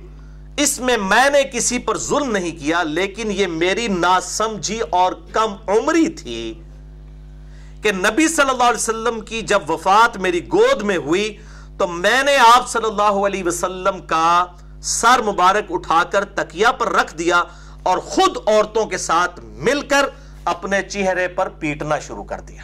یوں۔ اب وہ اہل تشیع اسی سے پلی لیتے ہیں۔ میں نے مسئلہ نمبر 66 اے میں بھی یہ بتائی تھی بات۔ اور وہ کہتے ہیں جی اما عائشہ نے سب سے پہلے ماتم کیا، آپ ہمیں کیوں نہیں ماتم کرنے دیتے؟ تو میں نے بتایا تھا یہ سند بالکل اس کی صحیح ہے، لیکن سیدہ عائشہ نے خود اس میں یہ بات مانی ہے کہ میری کم عمری کی وجہ سے جذباتیت میں یہ مجھ سے ہوا یعنی انٹینشلی یہ نہیں کہ وہ ہر سال پھر پیٹا کرتی تھی اس وقت ایک خاص لمحے میں یہ معاملات ہوئے۔ ظاہر ہے بہت بڑی مصیبت ٹوٹی تھی مسلمانوں پہ۔ سیدنا عمر جیسا بندہ صحیح بخاری میں آتا ہے کہ انہوں نے تلوار نکال لی تھی کہ میں اسے قتل کر دوں گا، جو کہے گا کہ نبی صلی اللہ علیہ وسلم بہت ہو چکے ہیں۔ باقی کو تو آپ چھوڑ دیں۔ تو اس میں الفاظ ہے کہ یہ میری ناسمجھی اور کم عمری کا نتیجہ تھا۔ تو جب انہوں نے خود مان لیا کہ مجھ سے یہ جو معاملات ہوئے، یہ میری غلطی ہے تو اب اس کے بعد اس کو ماتم کی دلیل کے اوپر پیش کرنا بالکل زیادتی ہے۔ تو یہ میں نے بھی اس حوالے سے کلیئر کر دیا۔ باقی اہل سنت اور اہل تشیع دونوں کی کتابوں میں موجود ہے کہ نبی صلی اللہ علیہ وسلم کے عقد میں جب رخصتی کے وقت سیدہ عائشہ کی عمر جو ہے نو سال تھی۔ اس کے اوپر جو جھگڑا کیا جاتا ہے، میں نے 159 اے میں بھی اس کو بریف کر دیا ہے۔ یہ بالکل فراڈ ہے۔ غلط کوشش کی جا رہی ہے، یہ معجزانہ طور پر معاملہ ہوا۔ اس کے علاوہ جو سیدہ عائشہ سے آپ صلی اللہ علیہ وسلم کی آئلی زندگی کی روایتیں ہیں، حیض و نفاذ، غسل سے متعلق میاں بیوی کے ریلیشن شپ، اس کے اوپر سیدہ عائشہ کے اوپر جو تان کیا جاتا ہے، بعض غالی رافدیوں کی طرف سے اور بعض منکرین احادیث کی طرف سے بخاری اور مسلم کے اوپر لان تان کیا جاتا ہے کہ یہ جھوٹی روایتیں ہیں، نعوذ باللہ۔ میں نے پچھلی دفعہ 159 اے مسئلے میں اس کو ایڈریس کر دیا تھا۔ آج اس کی زیادہ ڈیٹیل میں جانے کی ضرورت نہیں ہے۔ اب سیکنڈ لاسٹ حدیث، ساتویں حدیث اور پھر اس کے بعد آٹھویں حدیث انشاءاللہ تعالی ہوگی حدیث عفق. پھر ہماری گفتگو مکمل. باقی اس سے ریلیٹڈ جو سولہ آیات ہیں وہ انشاءاللہ ہم اگلی نشست میں کور کریں گے ورنہ ٹائم بہت زیادہ لگ جائے گا. سیکنڈ لاسٹ حدیث جامعہ ترمزی میں تین ہزار آٹھ سو تراسی اور مشکات میں چھ ہزار ایک سو چورانوے. ابو مساشری کہتے ہیں رضی اللہ تعالیٰ عنہ کہ ہم صحابہ کرام علیہ ردوان میں جب بھی کسی پر کوئی حدیث مشتبہ، مبہم یعنی امبگوس ہو جایا کرتی، تو ہم عائشہ سے پوچھا کرتے تھے اور ہم ان کے پاس اس چیز کا علم پا لیا کرتے تھے۔ یعنی بڑے بڑے اصحاب کو جو معاملات کلیئر نہیں ہوتے تھے، وہ سیدہ عائشہ سے جا کے پوچھا کرتے تھے۔ یعنی وہ صحابہ اور تابعین کی استاد ہیں۔ رضی اللہ تعالی عنہ وعلیہم السلام وعلیہم السلام اجمعین۔ تو یہ بہت بڑی فضیلت ہے سیدہ عائشہ کی۔ اور میں نے بتایا کہ اللہ تعالیٰ نے ان کو مرزانہ طور پر آپ صلی اللہ علیہ وسلم کے بعد 47 ایئرز تک زندہ رکھا، اٹھاون ہجری میں فوت ہوئی اور یہ ساری احادیث اکثر جو آئلی زندگی سے ریلیٹڈ ہیں، انہوں کی روایت کی۔ اور جو سیدہ ختیجہ کی شان میں میں نے جو احادیث بتائی ہیں، وہ بھی اما عائشہ نے خود روایت کی ہیں۔ وہ معاشہ نے روایت کی ہیں، رضی اللہ تعالیٰ عنہ علیہ السلام۔ تو سید عائشہ استاد تھیں صحابہ کرام علیہ مردوان کی بھی اور تابعین کی بھی، الحمدللہ۔ بہرحال یہاں پر ایک میرے ایمان کا تقاضا ہے کہ میں آپ کو ایک اس شخص کے بارے میں بتاؤں کہ جب سیدہ عائشہ کو بھی مسئلہ نہیں پتا ہوتا تھا، تو سیدہ عائشہ پھر کہتی تھی، اس شخص سے جا کے پوچھو، وہ مجھ سے بڑا عالم ہے۔ اور وہ تھے سیدنا مولا علی رضی اللہ تعالی عنہ وعلیہ السلام۔ اور یہ کوئی عام کتاب نہیں، صحیح مسلم میں تین حدیثیں ہیں۔ وہ جو حدیث ہے جامعہ ترمزی میں کہ میں علم کا شہر ہوں، علی اس کا دروازہ ہے۔ ترمزی میں تین ہزار سات سو تیئیس اور مشکات میں چھ ہزار چھیانوے۔ اس میں شریک القادی مدلس ہے اور ان سے روایت کر رہے ہیں اور سما کی تصریح نہیں ہے۔ وہ روایت صحیح نہیں ہے، ضعیف ہے۔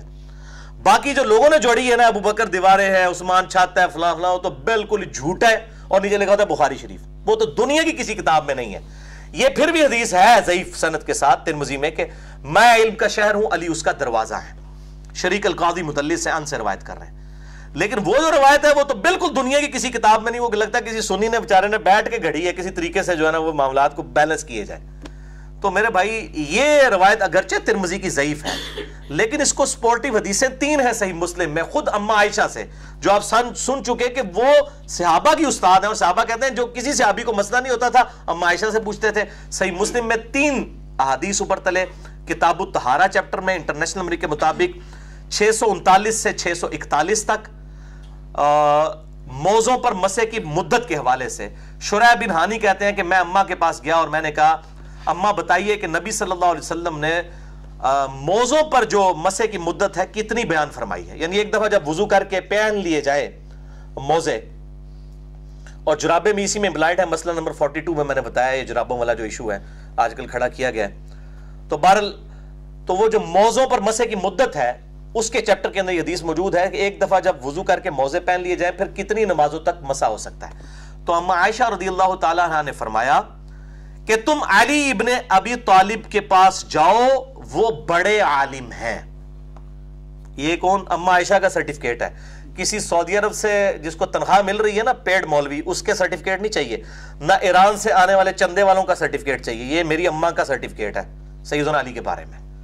تم علی کے پاس جاؤ، وہ بڑے عالم ہیں۔ ان کا زیادہ وقت سفر میں رسول اللہ کے ساتھ گزرا ہے، صلی اللہ علیہ وآلہ وسلم۔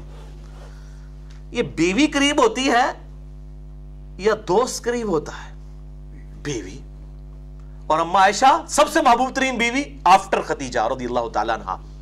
وہ کہہ رہی ہے کہ علی کا زیادہ وقت گزرا ہے نبی صلی اللہ علیہ وسلم کے ساتھ۔ وہ تمہیں بتائیں گے۔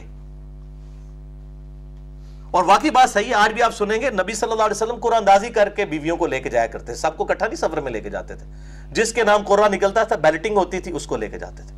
لیکن سیدنا علی ہر جنگ میں آپ صلی اللہ علیہ وسلم کے سپاہی بن کے آگے۔ ایک جنگ کے موقع پر نہیں گئے، وہ بھی حضور سے چھوڑ کے گئے۔ بخاری مسلم میں آتا ہے، غزوہ تبوک کے موقع پر۔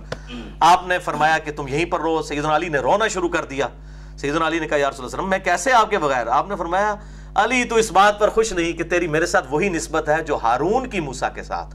یعنی موسا جب کوہ تور پر گئے تھے تو ہارون کو چھوڑ کے گئے تھے۔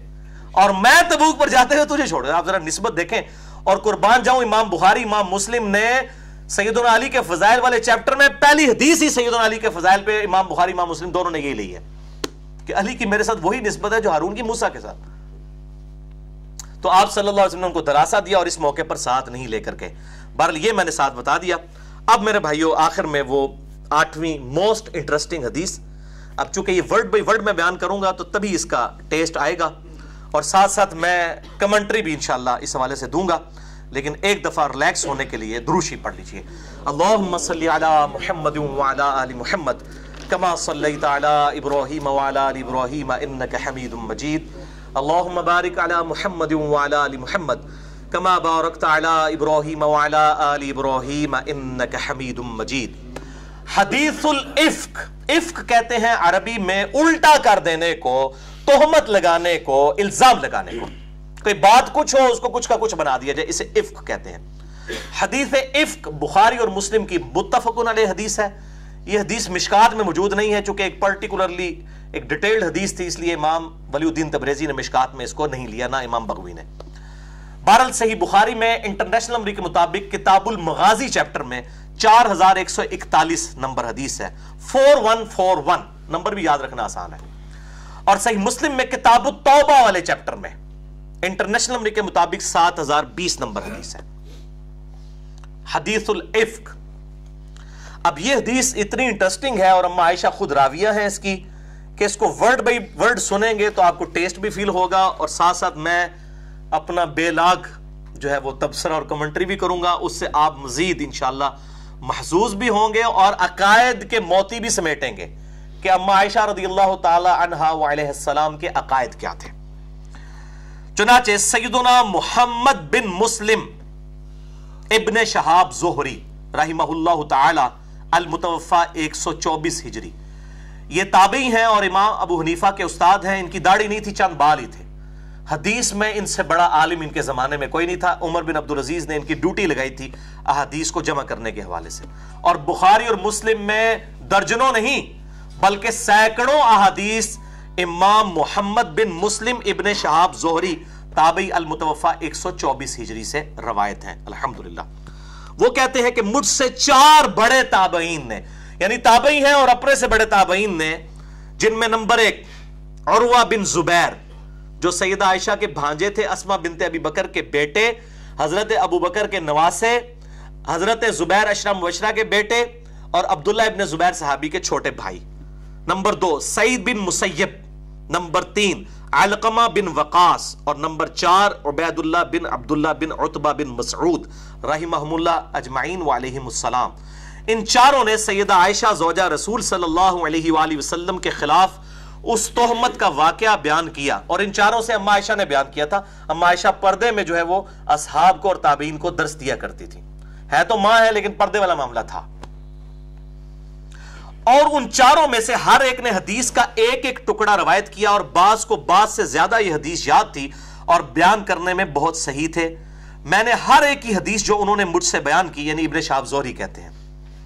اور ابن شاہب زوری ایسا مظلوم آدمی ہے کہ جس کو سنی کہتے ہیں شیعہ، کیونکہ سیدنا علی کی شان میں حدیثیں ہیں، بخاری، مسلم سے اس سے، اس کی۔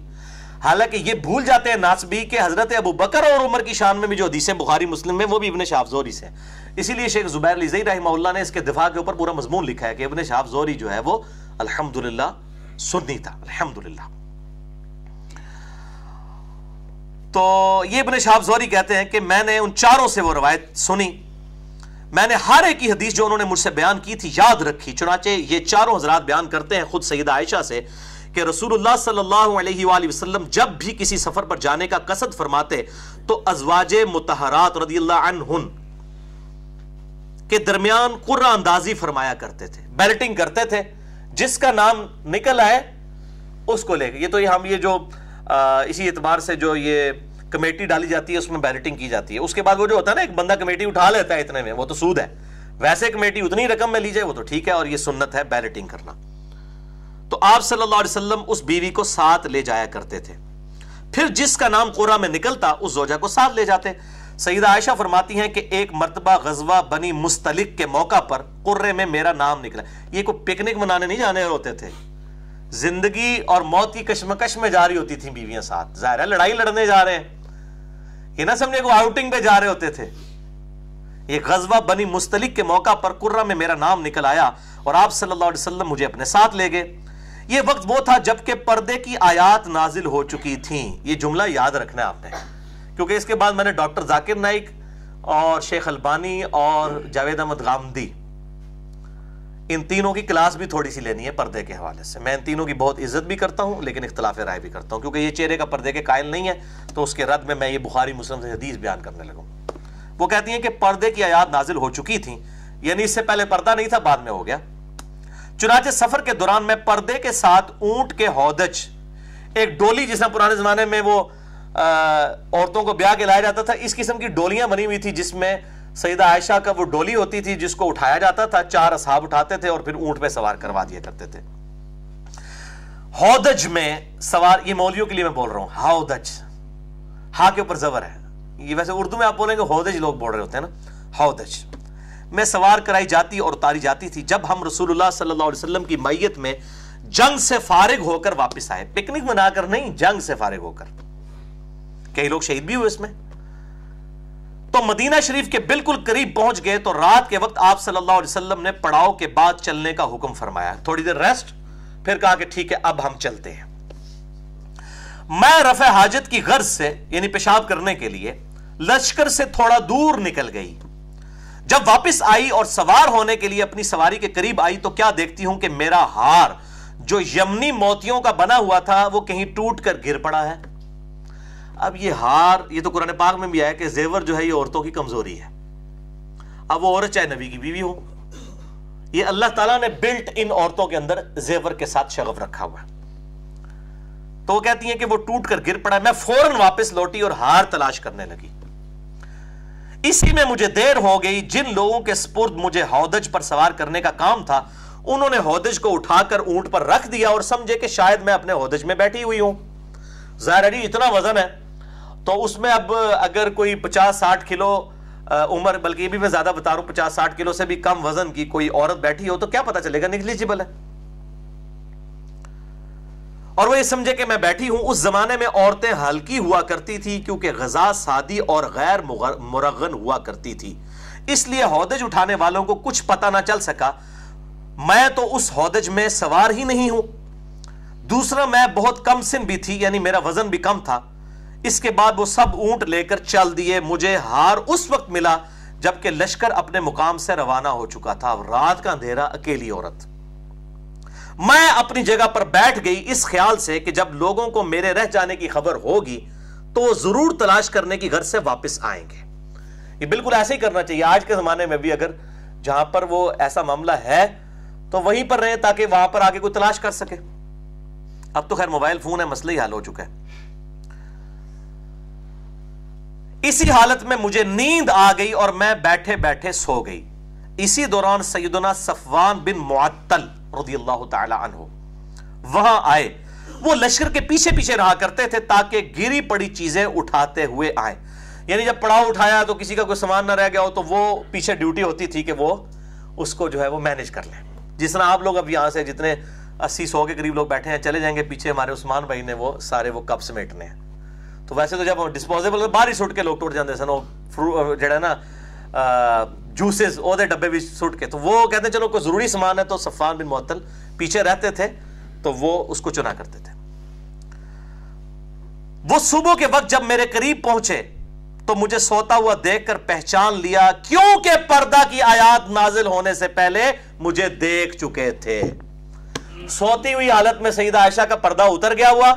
سیدنا صفوان نے پہچان لیا، یہ تو اممہ ہے اور اممہ کیا کمنٹری کہہ رہی ہیں کہ انہوں نے میری شکل اسی لیے دیکھ کے پہچان لیا کہ پردے کی آیات نازل ہونے سے پہلے انہوں نے میری شکل دیکھا تھا۔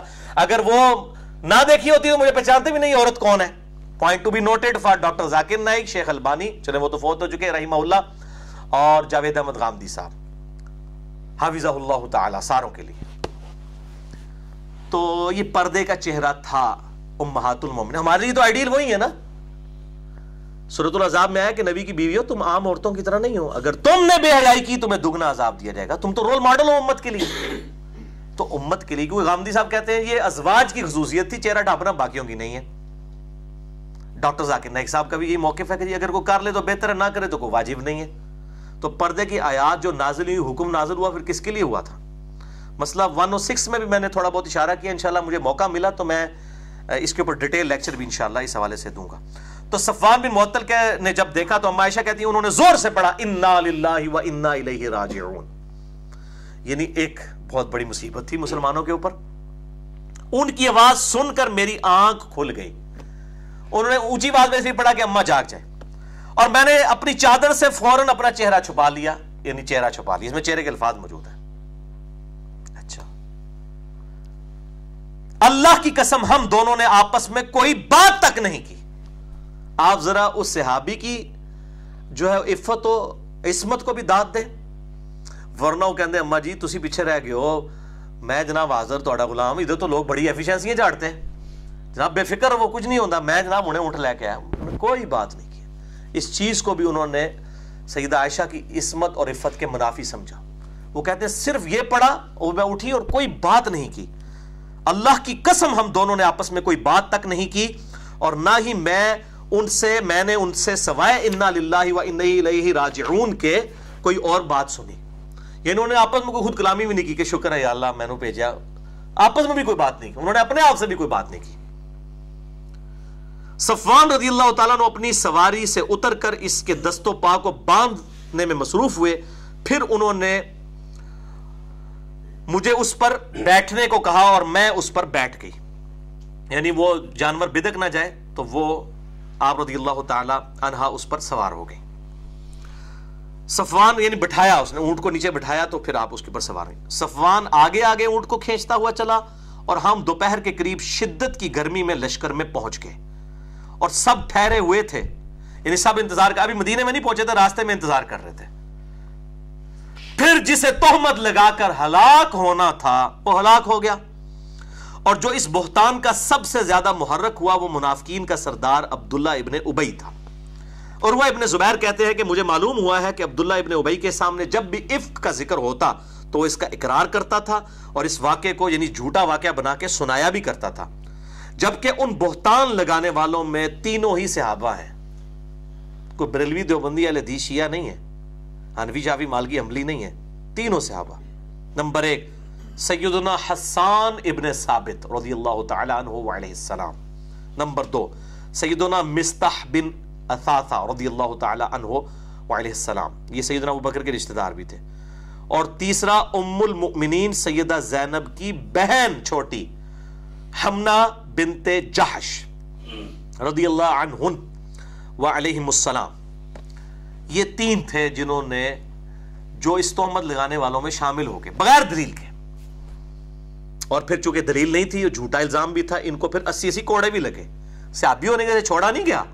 وہ حدیث موجود ہے ترمزی میں تین ہزار ایک سو اسی سو نبی دعود میں چار ہزار چار سو چوہتر، مشکات میں بھی موجود ہے، تین ہزار پانچ سو اناسی۔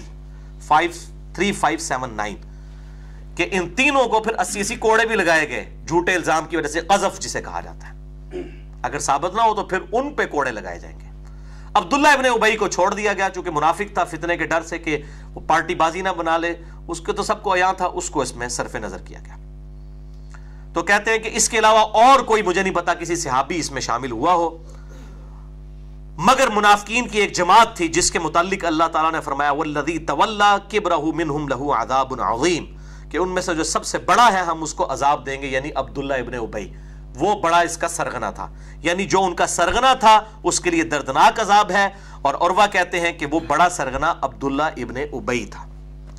اور آپ کو حرانگی ہوگی کہ بنو امیہ کے لوگ کتنے عرصے تک یہ جو الفاظ ہیں نا قرآن میں کہ ان کا بڑا جو ہے اس کو عذاب دیں گے تو حضرت علی پہ لگاتے تھے۔ نعوذ باللہ۔ لیکن بخاری مسلم پہ قربان جائیں، انہوں نے تو نام بھی لکھ دیے کہ عبداللہ بن ابئی تھا۔ یہ جب انسان دشمنی پہ اتر آئے تو پھر انسان جس طرح وہ مشرقین عرب کہا کرتے تھے، یہودی جو ہے وہ کہتے تھے کہ ان مسلمانوں سے تو مشرقین عرب بہتر ہے حالانکہ مسلمان تو حضرت موسا کو بھی مانتے تھے، آسمانی دین کو مانتے تھے مشرقین تو بت پرست تھے۔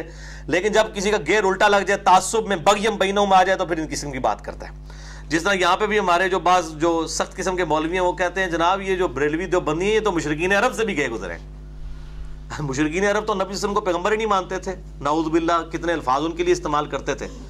اور یہ تو پھر بھی نبی صلی اللہ علیہ وسلم کی عزت کرتے ہیں۔ اسی طریقے سے بریلوی جب بولنے پہ آتے ہیں، وہ کہتے ہیں جی اہل حدیث تو جو ہے مشرقین عرب سے بھی گئے گزرے ہیں۔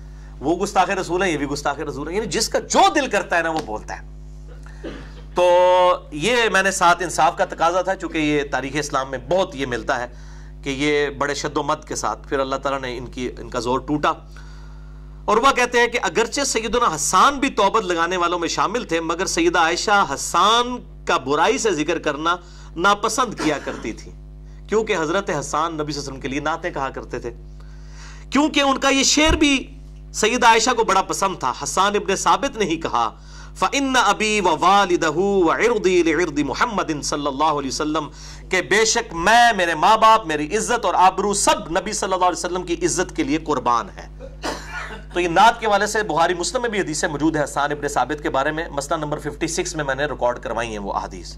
بہرحال سید عائشہ فرماتی ہے میں مدینہ میں ایک مہینہ تک بیمار رہی اور لوگوں میں تہمت کے متعلق بات جیت ہوتی رہی اور میرا شک بڑھتا رہا۔ اب سیدہ عائشہ کو کسی نے نہیں بتایا کہ جی آپ کے خلاف اس طرح کا طوفان کھڑا کر دیا کہتی ہے میرا شک بڑھتا گیا۔ اور قدرے اس وجہ سے زور پیدا ہوا کہ میں نے رسول اللہ صلی اللہ علیہ وسلم کو اس بیماری میں پہلے کی طرح مہربان نہیں دیکھا تھا۔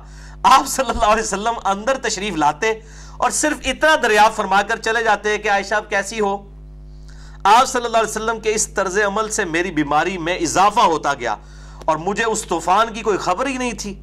جب مجھے کچھ صحت ہوئی تو میں مستح کی ماں کے ساتھ رفع حاجت کے لیے باہر گئی۔ یعنی وہاں پہ ٹوائلٹ اٹیچ بات تو نہیں ہوا کرتے تھے، عورتیں بھی رات کے وقت میں اور ٹوائلٹ بھی جانے کی ٹائمنگ ہوا کرتی تھی۔ یہ بے ٹائم کھانے آج کل کے، انہوں نے تو ہر ٹائم ٹوائلٹ لگا دیے بلکہ بعض لوگ تو وہ مطلب بار بار ٹوائلٹ جا رہے ہوتے ہیں۔ جب بھی کوئی نماز کا ٹائم ہے تو یہ اس لیے کہ بے وقتہ کھانا ہے، اس وقت تو ٹائمنگ ہوتی تھی۔ ابھی جو لوگ کھانا ٹائمنگ پہ کھاتے ہیں، وہ ٹائمنگ کے اوپر ہی ٹوائلٹ والا ایشو ان کے ساتھ ہوتا ہے۔ اس سے مراد یعنی بڑے پیشاب کی میں بات کروں چھوٹے پیشاب والا تو اتنا ایشو نہیں ہوتا تھا۔ تو وہ کہتی ہیں کہ اس وقت ہم لوگ باہر جایا کرتے تھے۔ تو اب وہ کہتی ہیں کہ میں مستح کی ہوں یعنی جن تومر لگانے والا صحابی تھا، اس کی ماں کے ساتھ ہی باہر جا رہی تھی۔ اب حضرت عائشہ کو تو پتا نہیں تھا کہ اس کے بیٹے نے ہی کام ڈالا ہوا ہے۔ رفع حاجت کے لیے گئی اور ہم ہمیشہ راتوں کو جایا کرتے تھے۔ یہ اس وقت کی بات ہے جبکہ ہمارے گھروں کے قریب بیت الخلاء نہیں ہوتے تھے اور ہم بھی عربوں کی عادت قدیمہ کی طرح اس کام کے لیے جنگل میں جایا کرتے تھے۔ کیونکہ گھروں میں بیت الخلاء بنانے سے ہمیں تکلیف ہوتی تھی یعنی بدبو کی وجہ سے ہم اس کو پسند نہیں کرتے تھے۔ ظاہر اس وقت سیوریج کا سسٹم نہیں تھا، تو ظاہر ہے وہ جس طرح آج مطلب ہم نے تو اپنی یعنی بچپنے میں یہ چیزیں دیکھی ہیں کہ عورتیں وہ صفائی کرنے والی گھر سے سب کچھ اٹھا کے لے جایا کرتی تھیں، جب تک یہ سیوریج والا سسٹم نہیں تھا۔ تو اس زمانے میں بھی پھر ظاہر ہے گھر سے بدبو ہوا پھر بندہ لگوانا جمع داروں کو ارینج کرنا، یہ بڑا ایک ایشو تھا، تو اس لیے وہ لوگ باہر جایا کرتے تھے۔ ابھی بھی میرا خیال ہے کے پی کے کے اندر، کیوں جی؟ کے پی کے کے اندر رواج موجود ہے۔ ابھی بھی لوگ جو ہے وہ باہر جا کے اس طرح کے معاملات کرتے ہیں۔ اچھا۔ تو وہ کہتے ہیں کہ ہم لوگ جایا کرتے تھے باہر۔ میں اور مستا کی ماں جو کہ ابھی روحم بن عبد المطلب بن عبد مناف کی بیٹی تھی اور اس کی ماں سخر بن عامر کی بیٹی تھی اور وہ میرے والد سیدنا ابو بکر کی خالہ تھی اور مستا بن ساسا ان کا بیٹا تھا یعنی سیدنا ابو بکر کی خالہ کا بیٹا رشتے میں۔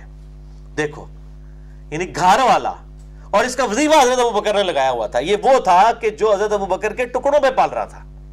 ظاہر اللہ نے سبب بنایا ہوا تھا، سیدنا ابو بکر اس کے لیے وظیفہ لگایا ہوا تھا غربت کی وجہ سے۔ تو کہتے ہیں کہ میں اس کی ماں کے ساتھ جب رفع حاجت سے فارغ ہو کر لوٹنے لگے تو راستے میں مستا کی ماں کا پاؤں چادر میں الجھا تو وہ گر پڑی۔ تو وہ اپنے بیٹے مستا کو برا کہنا شروع ہو گئی کہ تیرے ستیہ ناز ہو جائے۔ یہاں پہ بھی عورتوں کی یہ عادت ہوتی ہے نا۔ کوئی اس قسم کی ایمرجنسی ہوئی، کوئی کسی کو کوئی انگلی پہ لگ گئی تو وہ وہ گری نہ تو اس نے اپنی ماں اپنے بیٹے کو کہا تیرا بیڑا گرک ہو جائے مستا تیرا وہ بال میرے تے پیڑ میں ڈگی ہے نا، تیری وجہ نال تو جڑا پٹھا کم کیتا ہے۔ یہ اصل میں تھا بیچ میں۔ اب اما عائشہ کہتی ہے، میں نے کہا، ارے تم مستا کو کیوں بری کہہ رہی ہو؟ گری تو خود ہو۔ وہ تو جنگ بدر کا صحابی ہے۔ لو جی بدری صحابی یہاں لوگ کہتے ہیں صحابہ معصوم ہے۔ وہ بھائی انسان تھے، غلطی ہو سکتی ہے۔ اس سے بڑی کو غلطی ہے کہ اما عائشہ کے اوپر تومت لگا دی۔ صحابہ معصوم نہیں تھے، انسان تھے۔ اور ہم تو ان کی جوتیوں کی خاک کے برابر بھی لیکن ان کو پیغمبروں کا درجہ تو نہ تھے، جو میں نے پچھلی دفعہ بتایا کہ شیخ البانی نے حدیث خوف کے اوپر لکھا ہے کہ شیعہ بارہ اماموں کو معصوم مانتے ہیں اور سنی جو ہے وہ سارے صحابہ کو معصوم مان کے شیعوں والا ہی کام کر رہے ہیں۔ احترام کریں، غلطی اپنی جگہ۔ معصومیت صرف انبیاء والی ہے۔ اور انبیاء کی بھی معصومیت کا وہ عقیدہ نہیں ہے جو پبلک میں ہے۔ میں نے اسمت انبیاء پہ پورا لیکچر دیا، مسئلہ ایٹی ایٹ اے اور بی انبیاء سے لغزشیں ہوئی ہیں، غلطیاں ہوئی ہیں، گناہ نہیں ہوئے۔ لغزشیں غلطیاں ان سے بھی ہوئی ہیں، قرآن میں ریوارڈ ہوئی ہیں۔ حضرت آدم علیہ السلام کی غلطی، حضرت یوسف علیہ السلام، موسیٰ علیہ السلام نو علیہ السلام، ابراہیم علیہ السلام، ایون ہمارے نبی صلی اللہ علیہ وسلم کے کیس میں بھی تین چیزیں بیان ہوئی قرآن کے اندر۔ اسمت انبیاء کے عقیدے پہ شبہات کا تحقیقی جائزہ مسئلہ نمبر ایٹی ایٹ اے اور بی اہل سنت پاک ڈاٹ کام پہ ریکارڈ ہے۔ وہ کہتے ہیں کہ جی اس نے اپنے بیٹے کو برا کہنا شروع کیا۔ میں نے کہا مستا کو برا کہہ رہی ہو جبکہ وہ جنگ بدر کا صحابی ہے۔ انہوں نے کہا، اللہ کی بندی، عائشہ تم نے مستا کی بات نہیں سنی؟ اس نے کیا بات کی ہے؟ تو اس نے ساری بات بیان کر دی جس سے میری بیماری دگنی ہو گئی۔ سیدہ عائشہ، پہلے ہی بیمار، اوپر سے یہ صدمہ۔ اب ان کو فلم چلنا شروع ہو گئی۔ اچھا یہ جو حضور صلی اللہ علیہ وسلم بھی میرے ساتھ اتنا التفات نہیں فرما رہے، تو یہ تو نبی صلی اللہ علیہ وسلم کے دل میں بھی یہ بات بیٹھ گئی ہوئی ہے اور وہ آگے آئے گا۔ اتنے سخت الفاظ ہیں سیدہ عائشہ کے۔ تو میں گھر آئی اور آپ صلی اللہ علیہ وسلم گھر میں آئے۔ تو آپ صلی اللہ علیہ وسلم نے دور ہی سے سلام کے بعد مجھ سے پوچھا، اب تو پوری فلم چلی ہوئی تھی، سیدہ عائشہ نے کہا اچھا ہم سمجھ لگ گئی ہے۔ دل ہی دل میں انہوں نے کہا۔ مجھ سے پوچھا، فرمایا، کیسی ہو؟ میں نے عرض کیا کہ مجھے میرے ماں باپ کے گھر جانے کی اجازت دے دیں۔ اب یہ انڈیکیٹر تھا، ورنہ ایک محبوب بیوی اپنے خواہ سے کہہ رہی ہے، میں اپنے ماں پیوں مل آوا تو سوچے گا بھی خیریت ہے، کس لیے جانا ہے، کتنے دنوں بعد آؤگی؟ سعید عائشہ کہتی، میں اس لیے جانا چاہ رہی تھی، میں جا کے ادھر جا کے پوچھوں اپنے ماں باپ سے کہ یہ جو طوفان کھڑا ہوا ہے، تو تسی لوگ پہ کر دو میں تو بچی ہیں تو نبی صلی اللہ علیہ وسلم نے، میرا خیال تھا کہ میں ان کے پاس جا کر اس بات کی تحقیق کروں تو آپ صلی اللہ علیہ وسلم نے مجھے فوراً اجازت دے دی۔ کوئی آپ نے نہیں روکا۔ میں گھر آئی اور اپنی ماں سے کہا کہ، ماں، یہ لوگ کیا باتیں کر رہے ہیں؟ تو ماں ماں سادیاں ماں انہوں نے کہا، بیٹی، تم اس کا بالکل غم مت کھاؤ۔ مجھے بھی لوگ کہتے ہیں علی بھائی، آپ پہ الزام لگتا ہے خاموش نے خیر ہے، اللہ تعالیٰ بات کرنے لے وہ جس سے ہو رہی ہوتی ہے انہوں پتا ہے نا کہ کے پہ ہوتا ہے۔ کسی نے مشورہ دینا بڑا سوکھا ہوتا ہے۔ اب یہ ماں کیا کہہ رہی ہے؟ ماں کہتی ہیں کہ بیٹا، غم نہ کھاؤ۔ یہ تو شروع سے ہوتا چلا ہے۔ جب کسی خوبصورت عورت کی سوکنے ہوتی ہیں اور شوہر اس سے زیادہ محبت کرتا ہے، تو اس قسم کی عورتوں پہ الزامات نکلتے رہتے ہیں۔ میں نے کہا، سبحان اللہ، لوگ ایسی باتیں منہ سے نکالنا شروع ہو گئی اور آپ کہہ رہی ہیں، کچھ نہیں۔ وہی گل ہے نا جس نے مصیبت پہ ہی ہوتی ہے انہوں پتا ہوتا ہے نا لیکچر تو انہیں ریکارڈ کرانا ہے انجینئر محمد علی مرزا پر دس جھوٹے الزامات کا تحقیقی جائزہ وہ جو تکلیف سے گزرا ہوتا ہے اس کو پتا ہوتا ہے خیر میں رات بھر روتی رہی اور صبح ہو گئی نہ آنسو تھمے نہ ہی نیند آئی پوری رات جب وہی الہی آنے میں دیر لگی تو رسول اللہ صلی اللہ علیہ وسلم نے سیدنا علی رضی اللہ تعالیٰ عنہ اور سیدنا اسامہ کو بلایا یہی دو حضور کے لاڈلے سے آپی تھے سیدنا علی بچپن سے پالا ہوا اور سیدنا جو اسامہ تھے وہ زید ابن حارثہ کے بیٹے، وہ بھی آپ کے پوتوں کی مانند تھے۔ اچھا۔ اور اس معاملے میں مشورہ کیا۔ اسامہ جو ازواج متحرات کی پاک دامنی سے واقف تھے، کہنے لگے، یا رسول اللہ صلی اللہ علیہ وسلم، عائشہ تو آپ صلی اللہ علیہ وسلم کی بیوی ہے ان کو اپنے پاس رکھیے، میں ان میں کوئی برائی نہیں دیکھتا، وہ نیک اور پاک دامن عورت ہے یعنی نبی صلی اللہ علیہ وسلم مشورہ لے رہے ہیں کہ بتاؤ کہ یہ جو باتیں ہو رہی ہیں اس میں تمہارے اب آج کل کا کوئی بندہ ہوتا تو کہتا یا رسول اللہ علیہ وسلم تو بیوی یہ ہو ہی نہیں سکتا، انجویا ہوئے۔ کس طرح دی گلاں کر رہے ہو؟ تسی خود اپنی بیوی تے شک کر رہے ہو؟ لوگ تو اس طرح کی باتیں کرتے ہیں فوراً ہی مطلب لوگ جو ہے نا فضائل بیان کرنا شروع کر دیتے ہیں۔ لیکن ان کو پتا تھا کہ انسان تو انسان ہے، غلطی کا پتلا ہے۔ اور نبی صلی اللہ علیہ وسلم اگر پوچھ رہے ہیں تو ہمیں اب ان کے بارے میں صحیح کومنٹس دینے چاہیے جو ان کا کریکٹر ہے۔ اچھا۔ اس کے بعد نبی صلی اللہ علیہ وآلہ وسلم نے سید علی سے پوچھا۔ تو سید علی نے عرض کیا، یا رسول اللہ صلی اللہ علیہ وسلم، آپ کے لیے عورتوں کی کوئی کمی ہے؟ اور بھی اور بہت سی عورتیں موجود ہیں، آپ ان سے نکاح کر سکتے ہیں۔ اب اس بات کو نا لوگ کہتے ہیں جی سیدنا علی نے بغض کا اظہار کیا ہے اما عائشہ کے ساتھ۔ بھئی یہ ان کا بغض نہیں تھا، یہ نبی صلی اللہ علیہ وسلم سے ان کی انتہا درجے کی عقیدت تھی۔ انہوں نے قطن نہیں کہا کہ عائشہ اس طرح کی ہے یا اس نے یہ کیا ہے۔ انہوں نے کہا یا رسول وسلم آپ نے ایک بیوی کے پیچھے اتنی ٹینشن لی ہے۔ اتنی عورتیں ان موجود ہیں آپ کے لیے۔ اور واللہ، اللہ تعالیٰ نے قرآن حکیم میں سیدنا علی کی توثیق کر دی ہے۔ قیامت تک کے لیے۔ میں نازبیوں کو پھکی دے رہا ہوں۔ جو علی سے بکس رکھتے ہیں اور کہتے ہیں جی علی عائشہ سے بکس رکھتے ناؤذ باللہ۔ علی بھی عائشہ جو اللہ تعالیٰ بھی عائشہ سے بکس رکھتے تھے۔ واقعہ ایلا جو بخاری مسلم میں ہے، جو سورہ الاحزاب اور سورہ تحریم کے اندر اس کی ڈیٹیل موجود ہے کہ نبی صلی اللہ علیہ وسلم، سیدہ عائشہ اور حفصہ نے جو آپ صلی اللہ علیہ وسلم کے ساتھ بدتمیزی کی، جو قرآن میں بھی آیا، سورہ تحریم سورۃ الاحزاب میں حتیٰ کہ طلاق تک نوبت آ گئی، آپ صلی اللہ علیہ وسلم کو کہا گیا، طلاق دیں ان دونوں کو۔ میں نے پورا مسئلہ number one one O five, Junaid Jamshed پہ گستاخی کے الزام کا تحقیقی جائزہ، اس میں یہ حدیث ایلا بیان کی ہے۔ آج محل نہیں ہے، ورنہ تو ایک ڈیڑھ گھنٹہ لگ جائے۔ اس حدیث میں بھی آپ صلی اللہ علیہ وسلم کی ناراضگی اور اس کی تسلی میں جب سورہ تحریم کی آیات نازل ہوئی تو عائشہ اور افسہ کو کہا گیا، تمہارے دلوں میں ٹیڑ پن آ گیا ہے، رجوع لاؤ، توبہ کرو اور اگر تم ہمارے بیوی، ہمارے نبی کے ساتھ یہ سلوک کرو گی، تو یہ یاد رکھو، اللہ تعالیٰ ان کو اور عورتیں دے گا، اگر وہ تمہیں طلاق دے دے، پھر اللہ تعالیٰ نے ان ان بیویوں کی خوبیاں گنوائیں کہ اگر اے نبی صلی اللہ علیہ وسلم آپ عائشہ اور حفصہ کو طلاق دے دے، تو ہم آپ کو مسلم، مؤمن، تابع فرمان، توبہ کرنے والی عبادت گزار روزہ دار اور کماریاں اور عورتیں عطا فرما دیں گے۔ تو سیدنا علی نے کون سا جرم کیا یہ کہا کہہ کے کہ یا رسول اللہ، آپ کے لیے تھوڑی اور عورتیں انہوں نے تو اتنا کہا، اللہ تعالیٰ نے اس کی بریک اپ بھی دے دیا۔ کہ اگر آپ عائشہ افسا کو طلاق دیں تو ہم آپ کو مسلم، مؤمن تاب فرمان، توبہ کرنے والی، عبادت گزار روزہ دار کماری بیویاں اور عطا فرما دیں گے۔ آپ ان دو بیویوں پہ بیٹھے ہوئے آپ صلی اللہ علیہ وسلم کے بارے میں بڑی سخت حمیت تھی سیدنا علی کے دل میں، تو یہ انہوں نے اس کا اظہار کیا۔ حضرت عائشہ کو کوئی برا نہیں کہا، اور آگے الفاظ بھی آپ دیکھیں، اس سے بھی آپ کو کلیئر ہو جائے گا۔ تو انہوں نے کہا، آپ کے لیے عورتوں کی کوئی کمی ہے؟ آپ صلی اللہ علیہ وسلم بریرہ اپنی خادمہ سے پوچھئے۔ سیدنا علی نے کہا کہ میں اب اس کے بارے میں کیا کومنٹس کروں؟ عائشہ کے بارے میں سب سے قریبی تو آپ کی خادمہ ہے، جو عائشہ اور آپ کے دونوں کے ساتھ اٹیچ ہے۔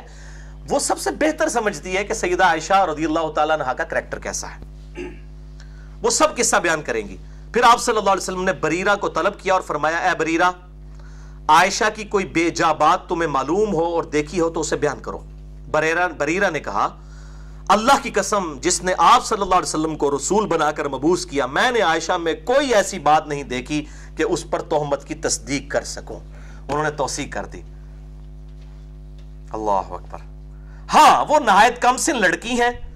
اور ان کے بھولے پن کی حالت یہ ہے کہ آٹا گوند کر سو جاتی ہیں تو بکری آ کر کھا جاتی ہے۔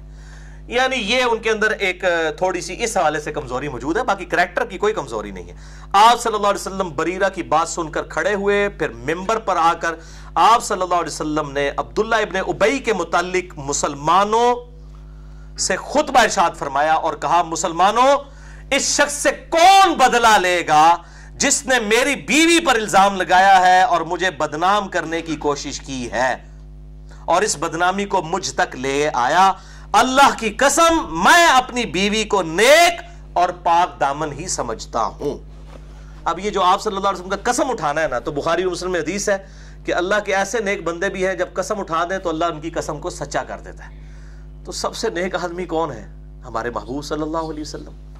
اور یہ اس قسم میں یہ چیز پوشیدہ ہے کہ آپ صلی اللہ علیہ وسلم بھی سیدہ عائشہ کے بارے میں حسن زن رکھتے تھے۔ اچھا۔ اور پھر نبی صلی اللہ علیہ وسلم نے اسی خطبے میں کہا کہ اور جس غریب صفوان کو یہ شریک کر رہے ہیں میرے بیوی کے معاملے میں، وہ بھی انتہائی اچھا آدمی ہے۔ میری غیر موجودگی میں کبھی بھی وہ میری بیوی کے پاس نہیں آیا۔ یہ کلام سنتے ہی سعد ابن ماز اوس کے سردار کھڑے ہوئے۔ اور عرض کے یا رسول اللہ، آپ کے حکم کی تعمیل کی جائے گی۔ اگر یہ شخص میرے قبیلے کا ہوتا یعنی عبداللہ ابن ابئی وہ خزرج میں سے تھا، تو میں ابھی اس کی گردن مار دیتا۔ اور اگر یہ ہمارے بھائیوں خزرج میں سے ہے، اب قبائلی سسٹم بڑا سٹرونگ تھا، تو آپ صلی اللہ علیہ وسلم ہمیں حکم دیں، تو اس پہ عمل کیا جائے گا۔ ہم ان کو بھی نہیں چھوڑیں گے۔ اچھا اب دیکھیں، قبائلی سسٹم کتنا سٹرونگ تھا۔ یہ سن کر قبیلہ خزرج کا ایک اور شخص کھڑا ہوا، جس کی ماں حسان کی چچا زاد بہن تھی اور اس کے قبیلے کی تھیں، اس کا نام سیدنا سعد ابن عبادہ تھا، وہ خزرج کے سردار، وہ بھی صحابی ہیں۔ ایک سو پچپن اصحاب صفحہ کا کھانا ان کے گھر سے جاتا تھا۔ وہ خزرج کا سردار تھا، کھڑا ہوا کہنے لگا، واللہ، اے سعد ابن معاذ، تو جھوٹا ہے۔ اور کبھی اس کو نہیں مار سکتا، نہ تیری یہ مجال ہے کہ تو اسے مار سکے۔ اگر وہ تیرے قبیلے کا ہوتا تو تو کبھی بھی اسے قتل نہ کرتا۔ اب وہ چونکہ ہمارے قبیلے کا ہے، اس لیے تو کہہ رہا ہے۔ یہ دیکھیں یعنی انسانی انسٹنکٹ کتنی عجیب چیز ہے۔ مسئلہ نبی صلی اللہ علیہ وسلم کا ہے۔ اور یہ وہ شخص ہے جس کی وجہ سے سعد ابن معاذ مسلمان ہوئے میں سعد ابن عبادہ پہلے مسلمان ہوئے ہیں، خزرج کے سردار۔ ان کی دعوت سے سعد ابن معاذ مسلمان ہوئے ہیں جو غزوہ خندق کے اوپر شہید ہو گئے، ان کے تیر لگا کے۔ اور وہی زخم جو ہے وہ آگے، ان کی شہادت تک چلا گیا۔ اب وہ بعد میں مسلمان ہیں اور ان کے ایمان کا لیول دیکھیں۔ وہ کہہ رہے ہیں کہ یا رسول اللہ، ہمارے قبیلے کا ہوتا، ہم تب بھی قتل کر دیتے، اس قبیلے کا نہیں چھوڑیں گے۔ آپ ذرا ایک دفعہ اشارہ کریں ہمیں۔ اور دوسرے قبیلہ خزرج کا سردار صحابی ہے، سعد ابن عبادہ۔ کہہ رہے ہیں ہاں سعد، اس لیے تو کہہ رہے دونوں کا نام سعد ہی ہے۔ سعد ابن ماز اور کیوں سعد علی؟ سعد ابن ماس اور سعد ابن عبادہ۔ ایک تیسرے صحابی بھی ہے سعد، میں نے اپنے بیٹے کا نام بھی سعد رکھا ہے۔ سعد ابن ابی وقاص رضی اللہ تعالی عنہم اجمعین وعلیہم السلام۔ تو وہ دونوں سعد ہیں اور وہ دونوں اس طرح جب کر رہے ہیں تو نبی صلی اللہ علیہ وسلم نے جب یہ معاملہ دیکھا، اسی دوران اسعید بن حزیر کھڑے ہوئے یعنی اوس کے ایک اور سردار تھے، جو سعد ابن ماس کے چچا زاد بھائی تھے، وہ کہنے لگے، اللہ کی قسم، ہم اسے ضرور قتل کریں گے، اے عباد، سعد ابن عبادہ، تو منافق ہے اور منافقوں کی حمایت کرتا ہے۔ حالانکہ وہ صحابی تھے۔ یہ تھی نبی صلی اللہ علیہ وسلم سے محبت صحابہ کی۔ انہوں نے کہا، سعد، تم منافق ہو چکا ہے حالانکہ یہ شخص پہلے نیک تھا، مگر اب اپنی قوم کی حمایت کر رہا ہے۔ انہوں نے کہا تو ہے بندہ نیک صاحب، پر ہون تیری قوم آگے آ گئی ہے۔ اور یہی ہوا آپ کی وفات کے بعد۔ یعنی وہ بنو امیہ اور بنو ہاشم کی وہ چیزیں سامنے آ گئیں، جس کی وجہ سے سیدنا علی کی خلافت ماننے سے ان لوگوں نے انکار کیا۔ وہی قبائلی تعصب اتنا زیادہ تھا۔ یہ تو آپ صلی اللہ علیہ وسلم کی نبوت کی برکت تھی کہ وہ دب گیا۔ حالانکہ یہ شخص پہلے نیک تھا، مگر اپنی قوم کی حمایت کر رہا تھا۔ اس گفتگو کے بعد اوس اور خزرج دونوں قبیلوں کے لوگ کھڑے ہوئے اور لڑنے پر مستعد نظر آئے۔ دو اور کھلو گے ان کے تک لینے تو انو ایسی تیسی اور نبی صلی اللہ علیہ وسلم سامنے موجود ہیں۔ اچھا۔ رسول اللہ صلی اللہ علیہ وسلم ممبر سے ان کو خاموش کرواتے رہے، آخر وہ خاموش ہو گئے۔ اب یہ آپ صلی اللہ علیہ وسلم کا معجزہ تھا، ورنہ اس قبائلی سسٹم میں آپ امیجن بھی نہیں کر سکتے۔ اس ٹائم ایسی ان کی کیفیت دماغ کی ہو جاتی تھی قبیلوں کی کہ وہ کسی کی نہیں سنتے تھے۔ تو بہرحال آپ صلی اللہ علیہ وسلم کی بات سنی وہ بیٹھ گئے۔ اب ذرا اب آگے کیا آپ سے بات کرتے جو معاملات بگڑ جانے تھے، آپ صلی اللہ علیہ وسلم ممبر سے اتر آئے۔ سعید عائشہ فرماتی ہیں کہ میں تمام دن رات روتی رہی۔ نہ آنسو تھمتے تھے، نہ نیند آتی تھی اور میرے ماں باپ بھی کبیدہ خاطر تھے۔ میں دو دن تک برابر روتی رہی، نہ آنسو تھمے اور نہ نیند آئی۔ اڑتالیس گھنٹے۔ اندازہ کریں۔ اور میں سمجھنے لگی کہ اب تو میرا کلیجہ پھٹ جائے گا۔ ماں باپ میرے پاس موجود تھے، اتنے میں انصار کی ایک اور عورت اجازت لے کر میرے پاس آئی اور وہ بھی رونے لگی۔ یعنی وہ عورتیں بھی آپ کو پتا کٹھی ہو جاتی ہیں پھر۔ بڑا افسوس ہے جناب، جو کچھ ہوا ہے تھوڑے نال۔ تو وہ بھی آ کے رونا شروع کر دیا۔ یہاں تو عورتوں کی حالت ہے، چالیس دن بعد بھی آ کے تو رونا شروع کر دیتی ہیں گھر والوں کو۔ وہ بھی رونے لگ پڑی۔ اچھا مجھے اس کا نام معلوم نہ ہو سکا۔ آخر نبی صلی اللہ علیہ وسلم بھی میرے گھر تشریف یعنی میں کہ خود آپ صلی اللہ علیہ وسلم، ابو کے گھر تشریف لائے۔ سلام کے بعد میرے پاس بیٹھ گئے۔ ورنہ ابھی تک اس دن سے پہلے ایک مہینے تک آپ میرے پاس بیٹھے بھی نہیں تھے۔ آپ صلی اللہ علیہ وسلم کے دل میں اس حوالے سے اتنا قلق تھا۔ اس دن آ کے پاس بیٹھے۔ تہمت کے بعد ایک مہینے تک آپ صلی اللہ علیہ وسلم ٹھہرے رہے، میرے بارے میں کوئی وہی آپ پر نازل نہیں ہوئی۔ آپ صلی اللہ علیہ وسلم میرے پاس بیٹھ گئے، کل میں شہادت پڑھا، اس کے بعد فرمایا، آیا عائشہ، مجھے تمہاری نسبت اس قسم کی خبر ملی ہے، اگر تم بے گناہ ہو تو اللہ ان قریب تمہاری پاک دامنی ظاہر فرما دے گا۔ اور اگر تم سے کوئی گناہ ہوا ہے تو اللہ سے توبہ کرو اور مغفرت چاہو، اس لیے کہ بندہ اگر اپنے گناہ سے توبہ کا اقرار کر لے تو اللہ تعالیٰ بخش دیتا ہے۔ سیدہ عائشہ کو تو آگ لگ گئی بات سن کے۔ جس نے میرے بھائیو جب کسی بندے نے کوئی کام نہیں کیا ہوتا اور اس کو یہ بات کہی جائے، چاہے آپشن کے طور پہ بھی کی جائے۔ منو مشرہ دیں علی بھائی خیر ہے، الزام ہے، خاموش رہے۔ آپ دیکھیں سیدہ عائشہ کہ آپ اس پہ کیا حالت ہوئی۔ کہنے والا کون ہے؟ نبی صلی اللہ علیہ وسلم۔ خاوند بھی ہیں، پیغمبر بھی ہیں۔ اور سید عائشہ ہیں دوسری طرف۔ بیوی بھی ہیں ایک نبی کی، بہترین عورت بھی ہیں۔ لیکن الزام میرے بھائیوں برداشت نہیں ہوتا۔ کلیریفیکیشن دینی پڑتی ہے۔ اچھا تو توبہ کر لو۔ آپ صلی اللہ علیہ وسلم جب اپنی بات ختم کر چکے تو میرے آنسو فوراً بند ہو گئے۔ یعنی اب وہ غم کی وجہ غصہ آ گیا سیدہ عائشہ کو۔ مشکلیں اتنی پڑی کہ آسان ہو گئیں۔ انہوں نے دباؤ اور پاسے ٹر پہ کہ یہ مجھے کہہ رہے ہیں، توبہ کر لے کے تجھے کو گناہ ہوا ہے۔ اندازہ کرو، میرا خامن مجھ سے یہ بات کر رہا ہے۔ ایک قطرہ بھی نہ رہا۔ میں نے اپنے باپ ابو بکر سے کہا کہ رسول اللہ کی بات کا جواب دو۔ غصہ دیکھیں۔ یعنی احترام اس جگہ پہ کہ اس سے یہ بھی بات پتا چلا کہ اگر بیوی کے ماں باپ بیٹھے ہیں تو بیوی کو اپنے خامن کو جواب نہیں دینا چاہیے۔ اگر کوئی بات بری لگے۔ تو سیدنا ابو بکر سے کہا، سیدہ عائشہ نے کہ میرے باپ ہیں آپ، میرا خامن میرے بارے میں یہ بات کر رہا ہے، آپ اس کو جواب دیں۔ ان کو جواب دیجیے۔ اچھا آپ سنیں۔ میرے والد ابو بکر نے کہا، اللہ کی قسم، مجھے کچھ سمجھ نہیں آ رہا کہ میں کیا جواب دوں۔ انہوں نے تسلیم نہیں بیٹا خیر ہے، لیکن گالتے ہوتی ہے نا، جس دے ہوتے الزام لگے ہوا ہے۔ اچھا پھر میں نے اپنی ماں سے کہا کہ آپ صلی اللہ علیہ وسلم کو آپ جواب دیجیے۔ مگر انہوں نے بھی مجھے، انہوں نے بھی مجھے یہی جواب دیا کہ بیٹا، مجھے کچھ سمجھ نہیں آ رہی کہ میں نبی صلی اللہ علیہ وسلم کو کیا جواب دوں۔ وہ وہی احترام کے دائرے میں خاموش۔ اب سنیں، بات ختم نہیں ہوئی ہے، علیحدہ ڈراپ سین آنا ہے۔ جب میں نے اپنے ماں باپ کو آجز دیکھا تو میں نے خود رسول اللہ کو جواب دینا شروع کر دیا۔ اب آپ ذرا جواب سنیں۔ جواب آپ سنیں گے، آپ حیران ہو جائیں گے۔ اللہ اکبر۔ خود رسول اللہ صلی اللہ علیہ وسلم کو جواب دینا شروع کر دیا۔ حالانکہ میں اس وقت عمر میں بھی کم تھی۔ قرآن بھی بہت کم جانتی تھی۔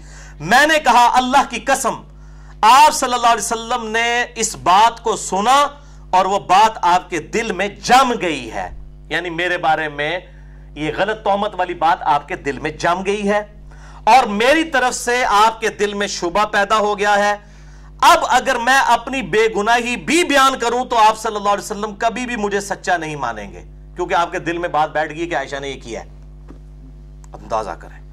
ہاں اگر میں اپنے گناہ کا اقرار کر لوں کہ واقعی میں نے یہ کیا ہے اور حالانکہ حقیقت میں میں نے نہیں کیا، تو آپ ضرور مان لیں گے۔ یعنی اگر میں یہ جھوٹی موٹی بھی کہہ دوں نا کہ یا رسول اللہ میں توبہ کر رہی ہے میں کیتا ہے، تو تھی کہ ہاں،, ہاں،, ہاں اے ہوں، ٹھیک ہے۔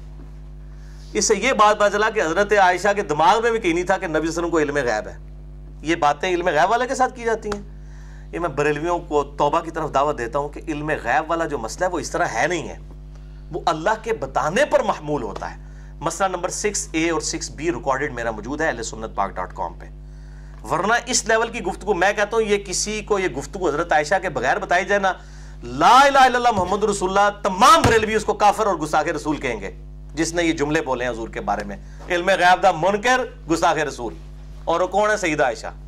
ان کے عقیدہ جو انہوں نے پروپیگیٹ کیا ہوا ہے پبلک کے اندر۔ نعوذ باللہ من ذالک۔ اچھا۔ پھر کہنے لگی کہ میں نے کہا کہ اللہ گواہ ہے کہ اب میری اور آپ کی وہی حالت ہے جو یوسف کے والد کی تھی۔ پھر میں نے قرآن کی وہ آیت سورہ یوسف کی پڑھی، فصبر جمیل واللہ المستعان وعلا ما تصفون۔ میں صبر کروں گی۔ جو حضرت یعقوب علیہ السلام کو جب ان کے قریبی رشتہ دار سمجھاتے تھے نا کہ یوسف کو نہ یاد کریں، نہ یاد کریں، آپ کو ویسے ہی وہم ہو گیا ہے، وہ کہتے ہیں مجھے یوسف کی خوشبو آتی ہے۔ تو انہوں نے کیا کہا؟ یہی پڑھا، فصبر جمیل واللہ المستعان وعلا ما تصفون۔ میں صبر کروں گا، جو کچھ یوسف کے بھائیوں نے کیا، اللہ سے مدد مانگوں گا۔ یہ کہہ کر میں نے اپنا منہ گھما لیا۔ اور بستر پر خاموشی سے لیٹ گئی، حضور سے کو کنڈ کر کے۔ اتنا غصہ یہ بات کر کے، اس کے بعد کہتی، میں نے دوسری طرف منہ کر لیا۔ کیونکہ مجھے یقین تھا کہ اللہ خوب جانتا ہے کہ میں گناہ ہوں۔ اور اگر بریلوی ہوتی، تو وہ بھی عقیدہ ہوتا، وہ والا جو معاملہ انہوں نے مشہور کیا ہوا۔ اور میری گناہ، بے گناہی کو اللہ ظاہر کر دے گا۔ مگر مجھے یہ خیال بھی نہ تھا کہ میرے معاملے میں قرآن کی آیات نازل ہو جائیں گی۔ اللہ اکبر۔ سورت النور آیت نمبر گیارہ سے لے کر چھبیس تک۔ سولہ آیات۔ اللہ اچھا انہوں نے کہا کہ مجھے یقین تھا کہ اب ہو جائے گا۔ کیوں؟ اب اس سے بڑی کیا تکلیف تھی کہ خاوند کہہ رہا آکے کہ توبہ کر لے اگر ہو گیا۔ کیونکہ یہ قرآن کی آیت ہے ان معلوسر یسرن ان معلوسر یسر ہر مصیبت کے بعد آسانی ہے، ہر مشکل کے بعد آسانی ہے۔ انہوں نے کہا اس سے بڑی تو کوئی مشکل آ ہی نہیں سکتی تھی کہ میرا خامند مجھ پہ شک کرے۔ اب کہتی مجھے یقین ہو گیا کہ اب اس کے بعد آسانی آئے گی یعنی اللہ تعالیٰ خود اظہار کر دے گا اس معاملے کا۔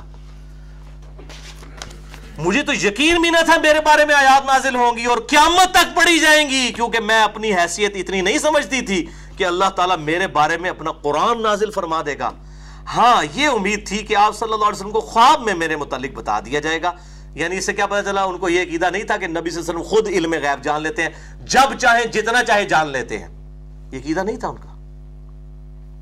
ناؤد باللہ۔ مسئلہ نمبر سکس اے اور سکس بی دیکھ لیجیے۔ خواب میں میرے متعلق بتا دے گا جس سے میری بے گناہی ثابت ہو جائے گی۔ اس کے بعد آپ صلی اللہ علیہ وسلم اپنی جگہ سے اٹھے بھی نہ تھے، نہ کوئی گھر کا آدمی اٹھا تھا اسی وقت یہ جب وہ باتیں کر کے ہٹی، آپ صلی اللہ علیہ وسلم پر وہی کی کیفیت تاری ہوئی، جیسا کہ وہی کے وقت ہوا کرتا تھا، اور اس کلام کی سختی کی وجہ سے، اس کے وزن کی وجہ سے آپ صلی اللہ علیہ وسلم پر سردی کے ایام میں بھی جسم مبارک پر پسینہ ٹپکنا شروع ہو جاتا تھا۔ وَلَوْ أَنزَلْنَا هَذَا الْقُرْآنِ عَلَى جَبَلِ اللَّهِ رَأَيْتَهُ اگر ہم یہ قرآن کسی پہاڑ پر بھی نازل کر دیتے، تم دیکھتے خاشیم متصدیم من خشیت اللہ، کہ وہ پھٹ جاتا اللہ کے جو ہے اس روب کی وجہ سے۔ تو نبی صلی اللہ علیہ وسلم پہ سخت سردیوں میں بھی جب یہ قرآن دل پہ نازل ہوتا تھا تو پسینہ چھوٹ جاتا تھا اور منہ سے خراٹے کی آواز آنا شروع ہو جاتی تھی، جس کو ہم کہتے ہیں سپر ایفیشنسی آف مائنڈ۔ اس حالت میں آپ صلی اللہ علیہ وسلم چلے جاتے تھے۔ جب وہی کی حالت گزر چکی تو آپ صلی اللہ علیہ وسلم نے تبسم فرمایا۔ اور سب سے پہلے یہ بات اشارت فرمائی، عائشہ، اللہ نے تمہاری پاک دامنی بیان فرما دی ہے۔ میری ماں نے ماں، ٹھنڈیاں چھاواں۔ میری ماں نے فوراً کہا، عائشہ، اٹھو۔ فوراً آپ صلی اللہ علیہ وسلم کا شکریہ ادا کرو۔ ماما بچاری بولیاں میں نے کہا، اللہ کی قسم، میں رسول اللہ کا شکریہ ادا نہیں کروں گی، بلکہ میں اپنے رب کا شکر ادا کروں گی، جس نے میری برات کا اعلان کیا۔ آپ تو تھوڑی دیر پہلے تک میرے پہ شک کر رہے تھے۔ میں آپ صلی اللہ علیہ وسلم کا شکر کیوں ادا کروں؟ یہ اس کی ٹرانسلیشن ہو رہی ہے۔ سیم الفاظ ہے پورا سن چکے ہیں۔ میں اللہ کا شکر ادا کروں گی، جس نے میرے خامند کا دل میرے بارے میں صاف کیا، یاد نازل کی۔ اچھا نبی سر میں بیٹھے تھے، انہوں نے نہیں کہا تو گستاخی کر دیتی ہے۔ پوائنٹ ٹو بی نوٹڈ ورنہ تو کہنا چاہیے تھا نا۔ ویسے آج کل کے مولوی ہو تو وہ فون تین سو دو جا کے وہ، کون سی ہے جی وہ؟ ٹو نائنٹی فائیو بی لگوا دیتے سید عائشہ کے اوپر، نعوذ باللہ من ذالک۔ بالکل ان منوسوں کا تو ایک ہے کہ گستاخ رسول کی توبہ بھی قبول نہیں ہے۔ یہ ابن تیمیہ نے جو ٹیکہ لگا دیا نا، کہ جی گستاخ رسول کی توبہ ہی نہیں ہے، چاہے وہ توبہ کر بھی لے۔ مشرق کی توبہ ہے اگر توبہ کر لے گستاخ رسول کی نہیں ہے۔ یہ ٹیکہ ایسا لگا ہے، بریلوی دیوبندی اہل حدیث شیعہ چاروں نے یہ ٹیکہ لگوا کے اپنا دماغ خراب کر لیا۔ میں نے ان کے رد پہ مسئلہ نمبر 49 ریکارڈ کروایا گستاخ رسول کی سزا اور گستاخانہ فلم اور کارٹون کے اوپر۔ کہ کس منطق سے آپ نے نکالا کہ گستاخ رسول کی توبہ نہیں ہے؟ توبہ تو بھائی موت کے غرگرے سے پہلے پہلے جامعہ ترمزی میں حدیث ہے کہ توبہ قبول ہے۔ شرک سے بڑا کون گستاخ ہو سکتا ہے؟ شرک اللہ کی گستاخی ہے، وہ بھی توبہ قبول ہے گستاخ رسول اگر کسی سے ہو بھی جائے قبول ہے۔ اگر وہ توبہ کر لیتا ہے۔ وہ پاکستانی گستاخی نا، وہ پاکستان میں تو ہر چیز گستاخی۔ میں جو کچھ حضرت عائشہ کا کریکٹر بتا رہا ہوں نا، پاکستان کے کیس میں، اس میں درجنوں گستاخیاں پاکستان کے علماء، بریلوی دیوبندی اہل حدیث شیعہ، اپنا جو انہوں نے فارمولہ گستاخی رسول کا بنایا، وہ لگا دیں گے۔ آپ دیکھیں، اندازہ کریں۔ وہ کہتی ہیں، میں اللہ کی قسم نبی صلی اللہ علیہ وسلم کا شکر نہیں ادا کروں گی، بلکہ میں اللہ کا شکر ادا کروں گی۔ اور اللہ تعالیٰ نے یہ دس آیات ان الذین جاؤوا بالافک عصبۃ منکم سے لے کے وان اللہ رؤوف الرحیم یہ دس تو پرٹیکولر آپ کی برات میں تھی اور اگلی چھ آیات میں سیدنا ابوبکر نے جو وظیفہ بند کیا تھا، وہ ابوبکر کو بھی کہا گیا، تم اللہ کے لیے وظیفہ دے رہے ہو، وظیفہ دوبارہ سے سٹارٹ کرو۔ اندازہ کریں۔ میرے رب نے میری بے گناہی ظاہر فرما دی۔ سیدنا ابوبکر جو رشتہ دار کی غربت کی وجہ سے مستا کی کچھ مالی مدد کیا کرتے تھے، انہوں نے مستا کے متعلق یہ سوچا ہی تھا کہ آندہ میں اسے کوئی مال نہیں دوں گا۔ کیونکہ اس نے عائشہ کو بدنام کیا، چنانچہ اللہ تعالیٰ نے اس کے بارے میں بھی نازل فرما دیا، ولا یأتلی اول الفضل منکم جو تم میں، جن کو اللہ نے مال دیا ہے، وہ اپنی رشتہ داریوں کی وجہ سے نا، دیکھیں ذرا کس لیول کی بات ہو رہی ہے۔ جناب جناب، یہاں جنید جمشید صاحب کی کوٹ لگا رہے ہیں ادھر، جو بیچارہ معافیاں مانگ رہا ہے، کہتے ہیں توبہ قبول نہیں ہے۔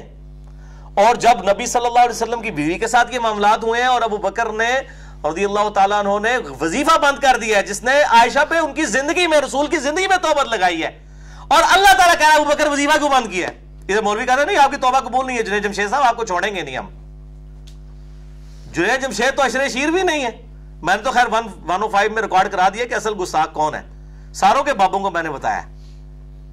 اور یہاں پہ مستا کا وظیفہ جب بند کیا، حضرت عائشہ پہ تومت کیا سے اللہ تعالیٰ نے بجائے مستا کے ابو بکر کو کہا کہ تو اللہ کے لیے وظیفہ دے رہا تھا، تو نے کیوں وظیفہ بند کیا ہے؟ تو نے تو اللہ سے اجر لینا ہے۔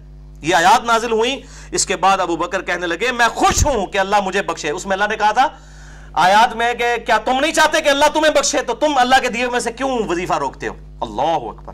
یہ ہے للہیت تو حضرت بکر کہتے ہیں، میں خوش ہوں کہ اللہ مجھے بخشے۔ میں مستاق کو وہی کچھ دیا کروں گا جو پہلے دیا کرتا تھا۔ واللہ، میں اس کو مال دینا بند نہیں کروں گا۔ سید عائشہ فرماتی ہیں، آپ صلی اللہ علیہ وسلم نے، تہمت کے ایام میں ام المومنین زینب سے جو میری سوکن تھیں میرا حال دریافت کیا۔ کیونکہ ام المومنین زینب کی بہن جو ہمنا بنت جہش تھی نا، وہ بھی اس میں شامل تھی تومت لگانے والوں میں۔ حسان ابن ثابت اور مستا کے ساتھ ان تینوں کو کوڑے بھی لگائے گئے۔ تو ان سے جب پوچھا کہ تم عائشہ کو کیسے جانتی ہو، تو کیسا پایا تو انہوں نے عرض کیا، یا رسول اللہ، میں اپنے کان اور اپنی آنکھوں کو محفوظ رکھتی ہوں۔ واللہ، میں نے عائشہ کو نیکی اور بہتر کے علاوہ کسی اور حالت میں نہیں دیکھا۔ آپ صلی اللہ علیہ وسلم کی ازواج میں زینب میرے برابر کی تھی یعنی سیدہ عائشہ کہتی ہیں کہ یعنی آپ صلی اللہ علیہ وسلم کی توجہ کے اعتبار سے سیدہ زینب میرے برابر کی تھی اور ان کے بارے میں حدیث ہے کہ سب سے پہلے صحیح بخاری میں بھی آتا ہے، مسلم میں، کہ میرے مرنے کے بعد سب سے پہلے میری وہ بیوی مجھے آ کے ملے گی جس کے ہاتھ سب سے لمبے ہیں۔ یعنی اس کی یہ کوالٹی ہے۔ تو سیدہ عائشہ کہتی ہے ہم ساری بیویاں آپس میں ہاتھ لمبائی کیا کرتی تھی تو سیدہ زینب سب سے پہلے فوت ہوئی تو ہمیں پتہ چلا اچھا یہ ہاتھ لمبے سے مراد ہے، اللہ کی راہ میں خرچ کرنے والی۔ حضرت زینب سے بڑھ کر حضور کی کوئی بیوی انفاق فی سبیل اللہ نہیں کرتی تھی۔ یہ اتنی لاڈلی بیوی تھی، سیدہ زینب۔ تو عائشہ کہتی ہیں کہ سیدہ زینب کی اگرچہ بہن تھی الزام لگانے والوں میں، لیکن انہوں نے اپنی بہن کا ساتھ نہیں دیا۔ حالانکہ عورتیں تو آپ کو پتہ ہے۔ انہوں نے میرے بارے میں حق بات کہی اور حضرت عائشہ کہتی ہیں کہ ازواج میں سے اگر میرے مقابلے کی کوئی عورت تھی نا نبی صلی اللہ علیہ وسلم کی نگاہوں میں، تو وہ زینب تھی۔ اللہ نے ان کی نیکی کی وجہ سے ان کو محفوظ رکھا، مگر ان کی بہن ہمنا نے لڑائی شروع کر دی اور وہ بھی تہمت لگانے والوں کے ساتھ ہلاک ہو گئی یعنی ان پہ بھی قذف کے اسی کوڑے لگائے گئے۔ سید عائشہ کہتی ہیں، واللہ، جس شخص کے متعلق مجھ پر بہتان لگایا گیا یعنی صفوان بن معطل، وہ ان باتوں کو سن کر تعجب کیا کرتا تھا اور سبحان اللہ کہا کرتا تھا۔ اللہ کی قسم وہ کہا کرتا تھا کہ اللہ کی قسم، اس اللہ کی قسم جس کے قبضے قدرت میں میری جان ہے، میں نے تو کبھی کسی بھی عورت کو ایسے تعلق کے ساتھ ہاتھ تک نہیں لگایا یعنی وہ کمارا تھا۔ وہ کہتا ہے، عائشہ، کیا میں نے تو کسی عورت کو ہاتھ نہیں لگایا؟ اور عائشہ فرماتی ہیں، اس کے بعد وہ کنواری حالت میں ہی اللہ کی راہ میں شہید بھی ہو گئے۔ یہ بھی حضرت عائشہ پر اللہ کی کرامت ہوئی کہ جس مرد کے ساتھ ان کو نعوذ باللہ جوڑا گیا اس حوالے سے، صفوان بن معطل اللہ تعالیٰ نے اس کی قسمت میں کوئی عورت رکھی نہیں۔ یعنی وہ والا معاملہ ایسا کیا کہ وہ عورت، وہ مرد جو ہے، وہ کنواری حالت میں ہی شہید ہو گیا اللہ تعالیٰ کی راہ میں۔ الحمدللہ، اس کے اوپر یہ حدیث اف جو ہے وہ مکمل ہوئی۔ اب رہا ان آیات کا معاملہ، وہ انشاءاللہ اگلی دفعہ جلدی میں دس پندرہ منٹ میں کور ہو جائیں گی، تو وہ پورا اس کا بلو پرنٹ آپ کو سمجھ آ گیا ہے۔ اللہ تعالیٰ سے دعا ہے، جو حق بات میں نے کہی، اللہ تعالیٰ ہمارے دلوں میں راسک فرمائے۔ اگر جذبات میں میرے منہ سے کوئی غلط بات نکل گئی تو اللہ تعالیٰ ہمارے دلوں سے معاف کر دے۔ ہمیں کتاب و سنت کی تعلیمات پر عمل کر کے دوسرے بھائیوں تک پہنچانے کی توفیق عطا فرمائے۔ سبحانك اللهم وبحمدك اشهد ان لا الہ الا انت، استغفرک و اتوب الیک۔ وما علینا الا البلاغ المبين جزاکم اللہ خیرہ